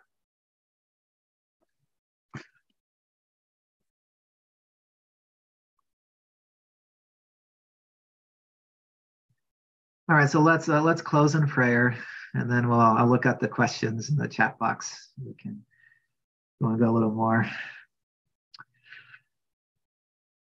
If I never meet you, Lord, in this life, let me feel the lack. One glance from your eyes, and my life will be yours. Lord, we ask you to, to captivate us, Lord, with that one glance from your eyes, with that uh, little glimpse of yourself. Capture our hearts, Lord. And let us not shield our hearts, Lord, from your heart work, from what you want to accomplish in our hearts. Let us allow our hearts to be uh, placed in the furnace, to be sensitive hearts, uh, to be hearts that want to be more in union with the heart of Jesus Christ crucified, with the heart of our compassionate mother, Mary at the foot of the cross, with the heart of St. Catherine, with the heart of St. Dominic, and all these great Dominican saints and other saints throughout the ages. Uh, give us a heart, Lord, that beats in accord with your heart. Give us deep hearts, Lord. Give us hearts uh, filled deep with your love. And we pray together as Jesus has taught us. Our Father, who art in heaven, hallowed be thy name. Thy kingdom come, thy will be done, on earth as it is in heaven. Give us this day our daily bread, and forgive us our trespasses, as we forgive those who trespass against us. And lead us not into temptation, but deliver us from evil. Amen. May Almighty God bless you, the Father, and the Son, and the Holy Spirit. Amen. Okay. Here we go. Here we go. Uh, a little Q and A. Um, but I, I, did want to mention, just really briefly, um, uh, I can't find it though. No, I can't find it. So St. Catherine, she does have an interesting phrase about listening with the ears of the heart. And so this kind of corresponds to like what Father Francis Martin says, you know, when you hear confessions or when you listen in sympathy to somebody, listen from your heart, listen from the depths of your heart. Um, so she says in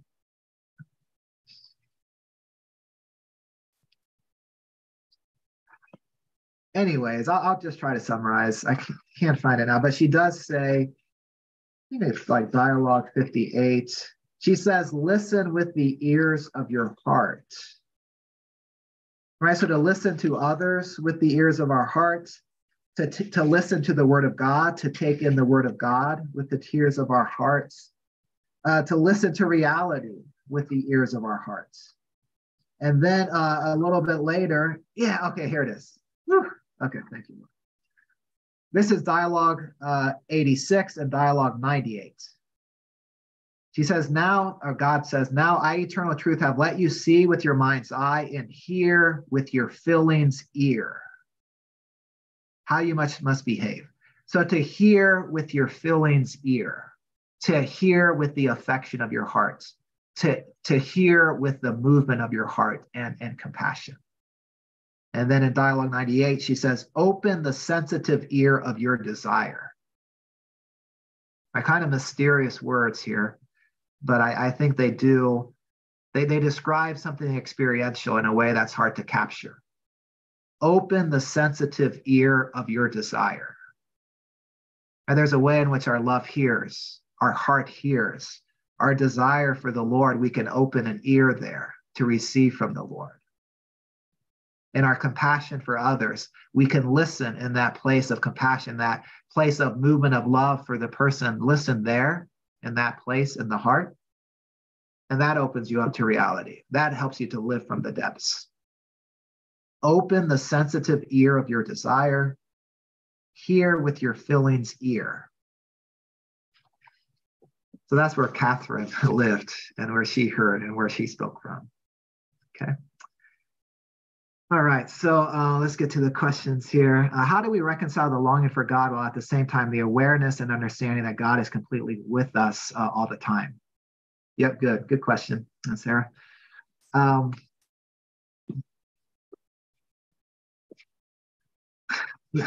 yeah, I mean, I can I can talk a lot about this. Um, we we touched on this last class a month ago, where we talked about graces of contemplative prayer, and as Saint Catherine gives an account of it. Um, and I laid out there using John of the Cross three modes of God's presence. Excuse me. Um, so there are three modes of God's presence. God is present everywhere by essence, presence, and power. You know, He's present He's present even in the stone by holding it in existence. So St. Thomas says that in question eight, the first part of the Summa, Summa that God is everywhere by presence, power, and essence. By essence, by holding things in existence. Right, that point of contact with God as He holds something in existence is the way He's present. That holds true for everything.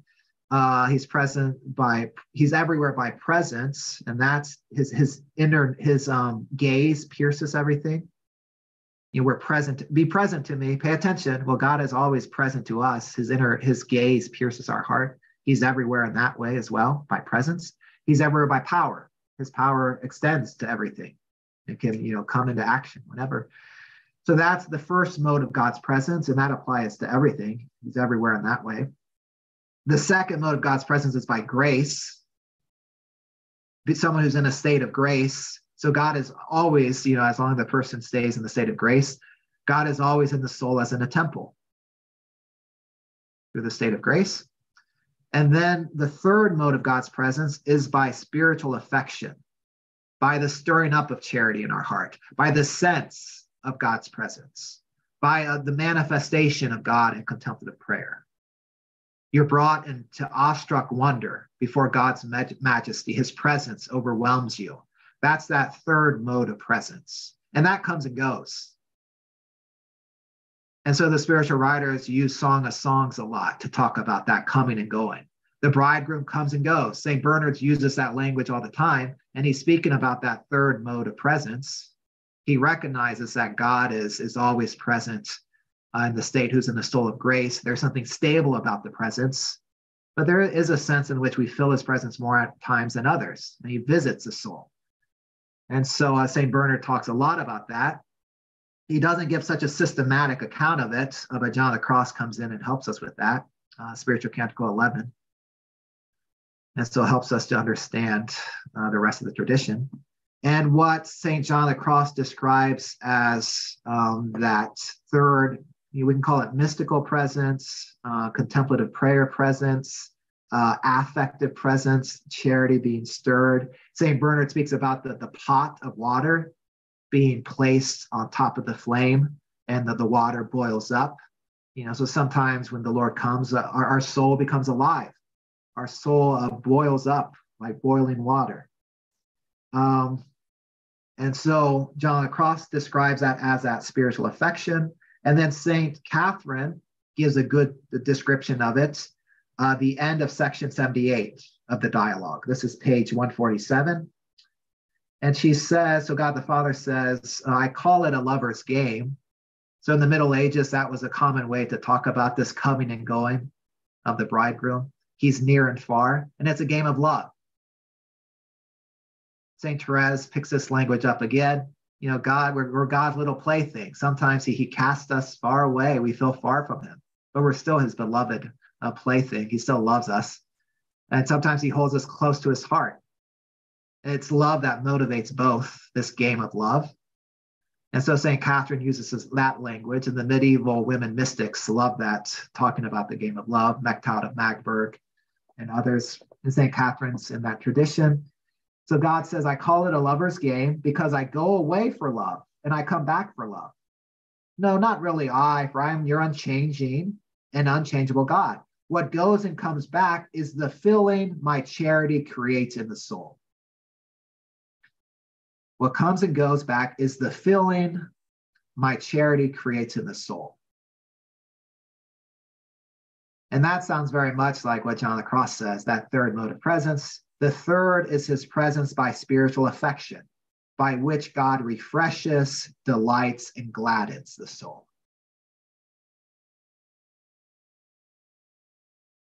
So that's um, so that's part of this this coming and going. And when the lord goes it's like what john cries out where have you hidden beloved and left me moaning? You fled like the stag after wounding me. I went out calling you but you were gone.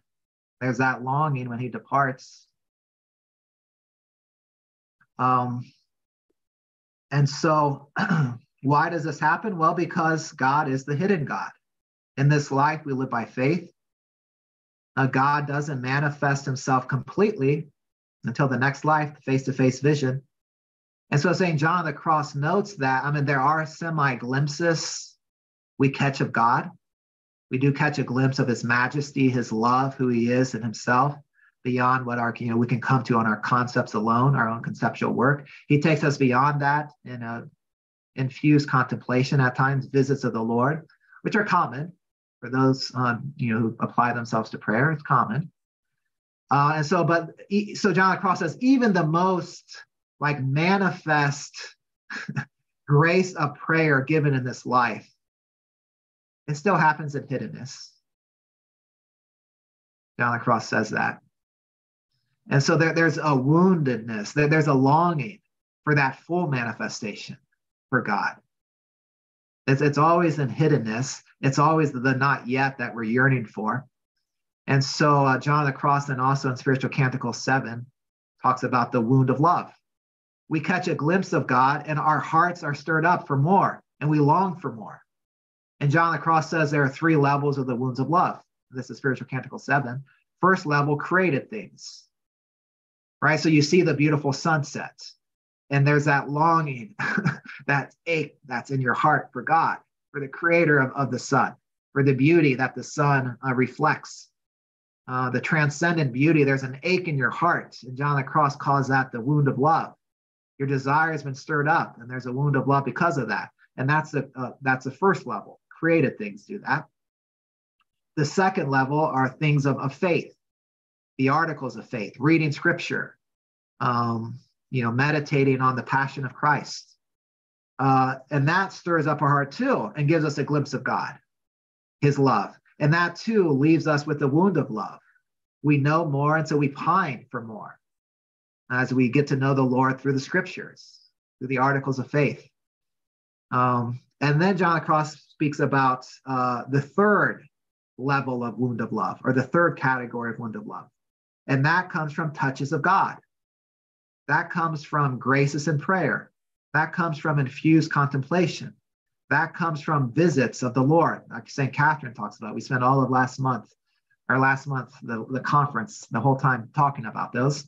Um, that when the Lord visits, and it, you know, it's common for those of us um, committed to the life of prayer. When the Lord comes and visits us, there's a glimpse of Him. There's a more of Him that that we experience that and that leaves us pining for more because it's not a full manifestation. And we too then cry out with John the Cross, Where have you hidden, beloved, and left me moaning? You fled like the stag after wounding me. I went out calling you, but you were gone.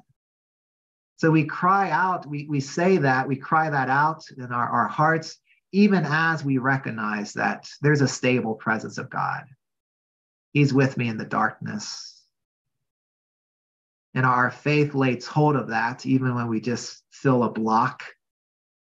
When God hems in our prayer, like the book of Lamentation says, he's like hems, he like builds a wall between us and himself. Our prayer like can't reach him, it feels like. Lamentation gives a good uh, expression of that. Uh, we're in that place, but when we're in that place and we're crying out, Where have you hidden?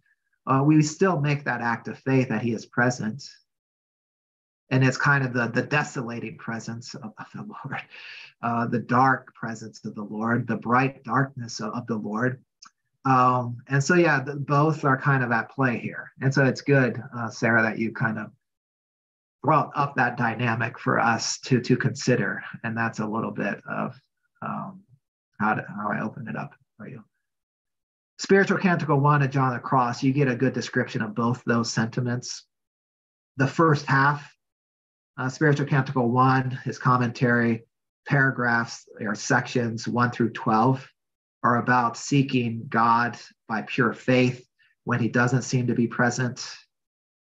Um, but then after that, the second part of that Spiritual Canticle 1 canticle, um, around paragraph 15 or so, section 15, and a, a couple sections uh, following that as well, he does talk about visits of the Lord then. The Lord visits the soul and gives us glimpses of him, uh, wounds us with love. Um, and uh, that's part of the spiritual life as well, and part of the, the, the dynamic. Uh, so yeah, so there it, it's both. It's both that stable presence of God that that's always with us, and that we apprehend by faith alone, um, even in the darkness. Uh, and then also visits of the Lord. The Lord does show His face to us at times. He gives us a glimpse at times. Visits the soul. And visits are key for Catherine of Siena, as we saw last month. Okay, so Catherine, all right.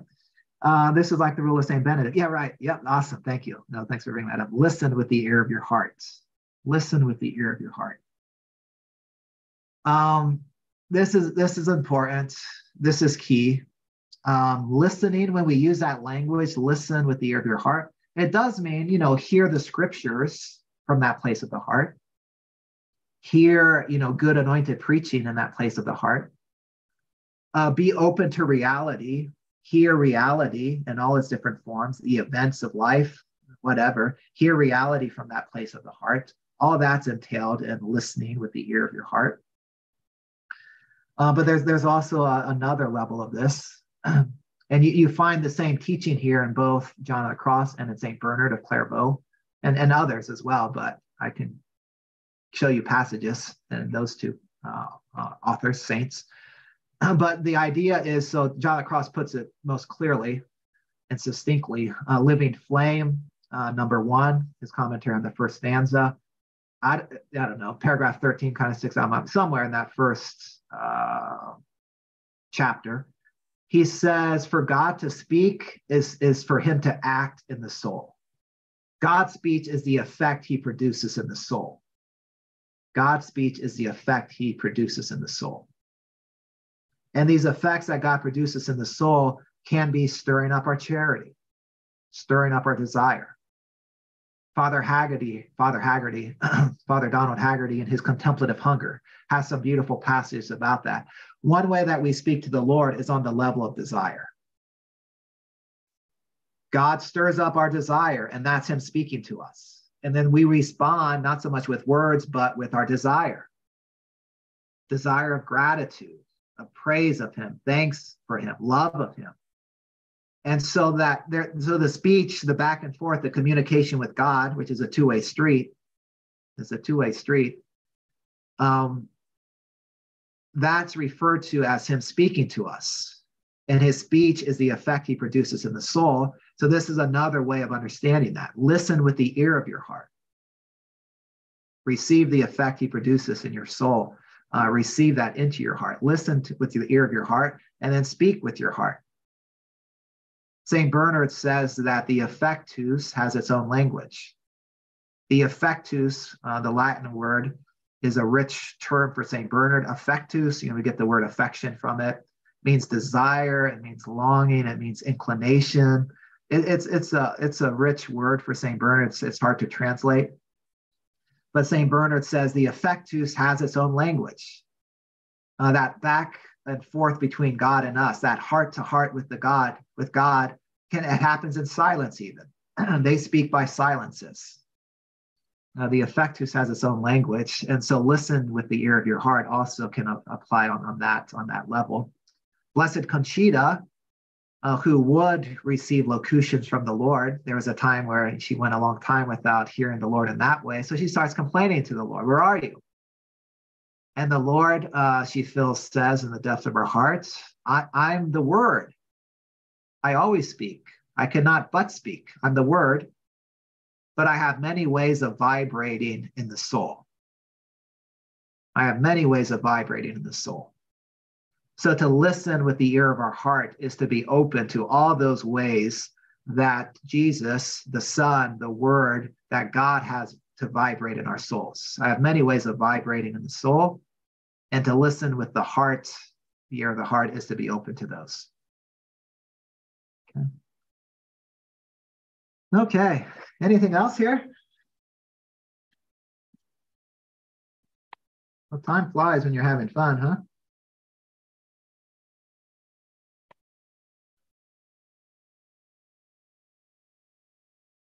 You know, John 17, let me just end there, just with this hearing with the ears of the heart. And um, yeah, this is about having a heart after God's own heart. So, David, a man after God's heart, helps us to get there. The Psalms help us to get there. The prophets help us to get there. You know, those long passages of, of Isaiah. Jeremiah's pleading and Lamentations gives us a heart after his own heart. Um, that heart that does have that gift of tears in the depths, spiritual tears, tears of the heart. Um, um, and, you know, the gospel of the New Testament as well, the last discourse as well, of course, in a powerful way, gets us to that place of the heart. And we, we get in the last discourse uh, that the words that God speak to us are among the most precious treasures that he gives us. You can find in the church fathers in Origen, you know, have the, the same reverence you have for the word, for every um, word, every verse of the word that you have for, for, for the Eucharist.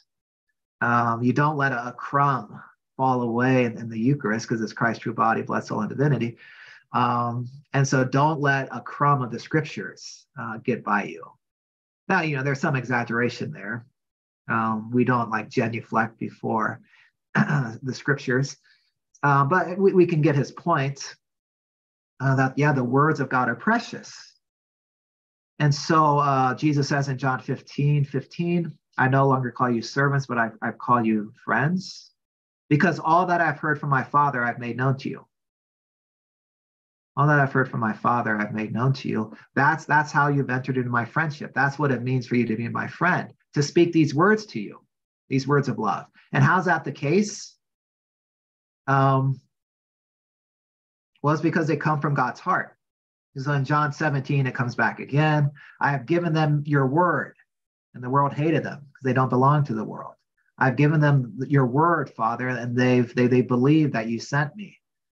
Um, and those who believe through their word, you know, enter into the same relationship. And so the words of Scripture, they're they're coming from God's heart. It's that heart speaks to heart, and God opens up His heart to us uh, through the Word of God, and He allows our hearts to be to take uh, what's in His heart into our hearts. The interiority of God enters into our interiority through the word. Just as I like preach to you words, my interiority, I'm sharing what's interior to me with you through words. You can let those words enter your interiority and, and create, we can be united in our interiorities through the word, through the word spoken from my heart to your heart. It's really kind of insane. But all that is built on that more primary word of, of that the father speaks from his heart. Right? Our language is mirrored after that most primal utterance the father uttering his word uh, john 118 the only son the word who is in the bosom of the father he has made him known the word comes from the father's heart into our hearts the god god opens up his interiority speaks the word, and his interiority can enter into our interiority. We're no longer slaves, but we're friends, because all that he's heard from the Father, he's made known to us. And so to let the words of Scripture um, shape us like that, and then we're brought in to have a, a heart after God's own heart, a heart like God's heart, a heart of the compassionate Father. Okay, so uh, so that's it for now. Um, so next week it's going to be uh, pages 175 to 200. And we'll pick up some of the themes we kind of let pass in um, some of these readings and then uh, press on into uh, the chapter on the truth. So uh, God bless you all. Now let's continue to pray for one another you know, that we uh, enter into this mysterious reality of intercession with hearts attuned to God and his plan for us and for the world. Good night. God bless.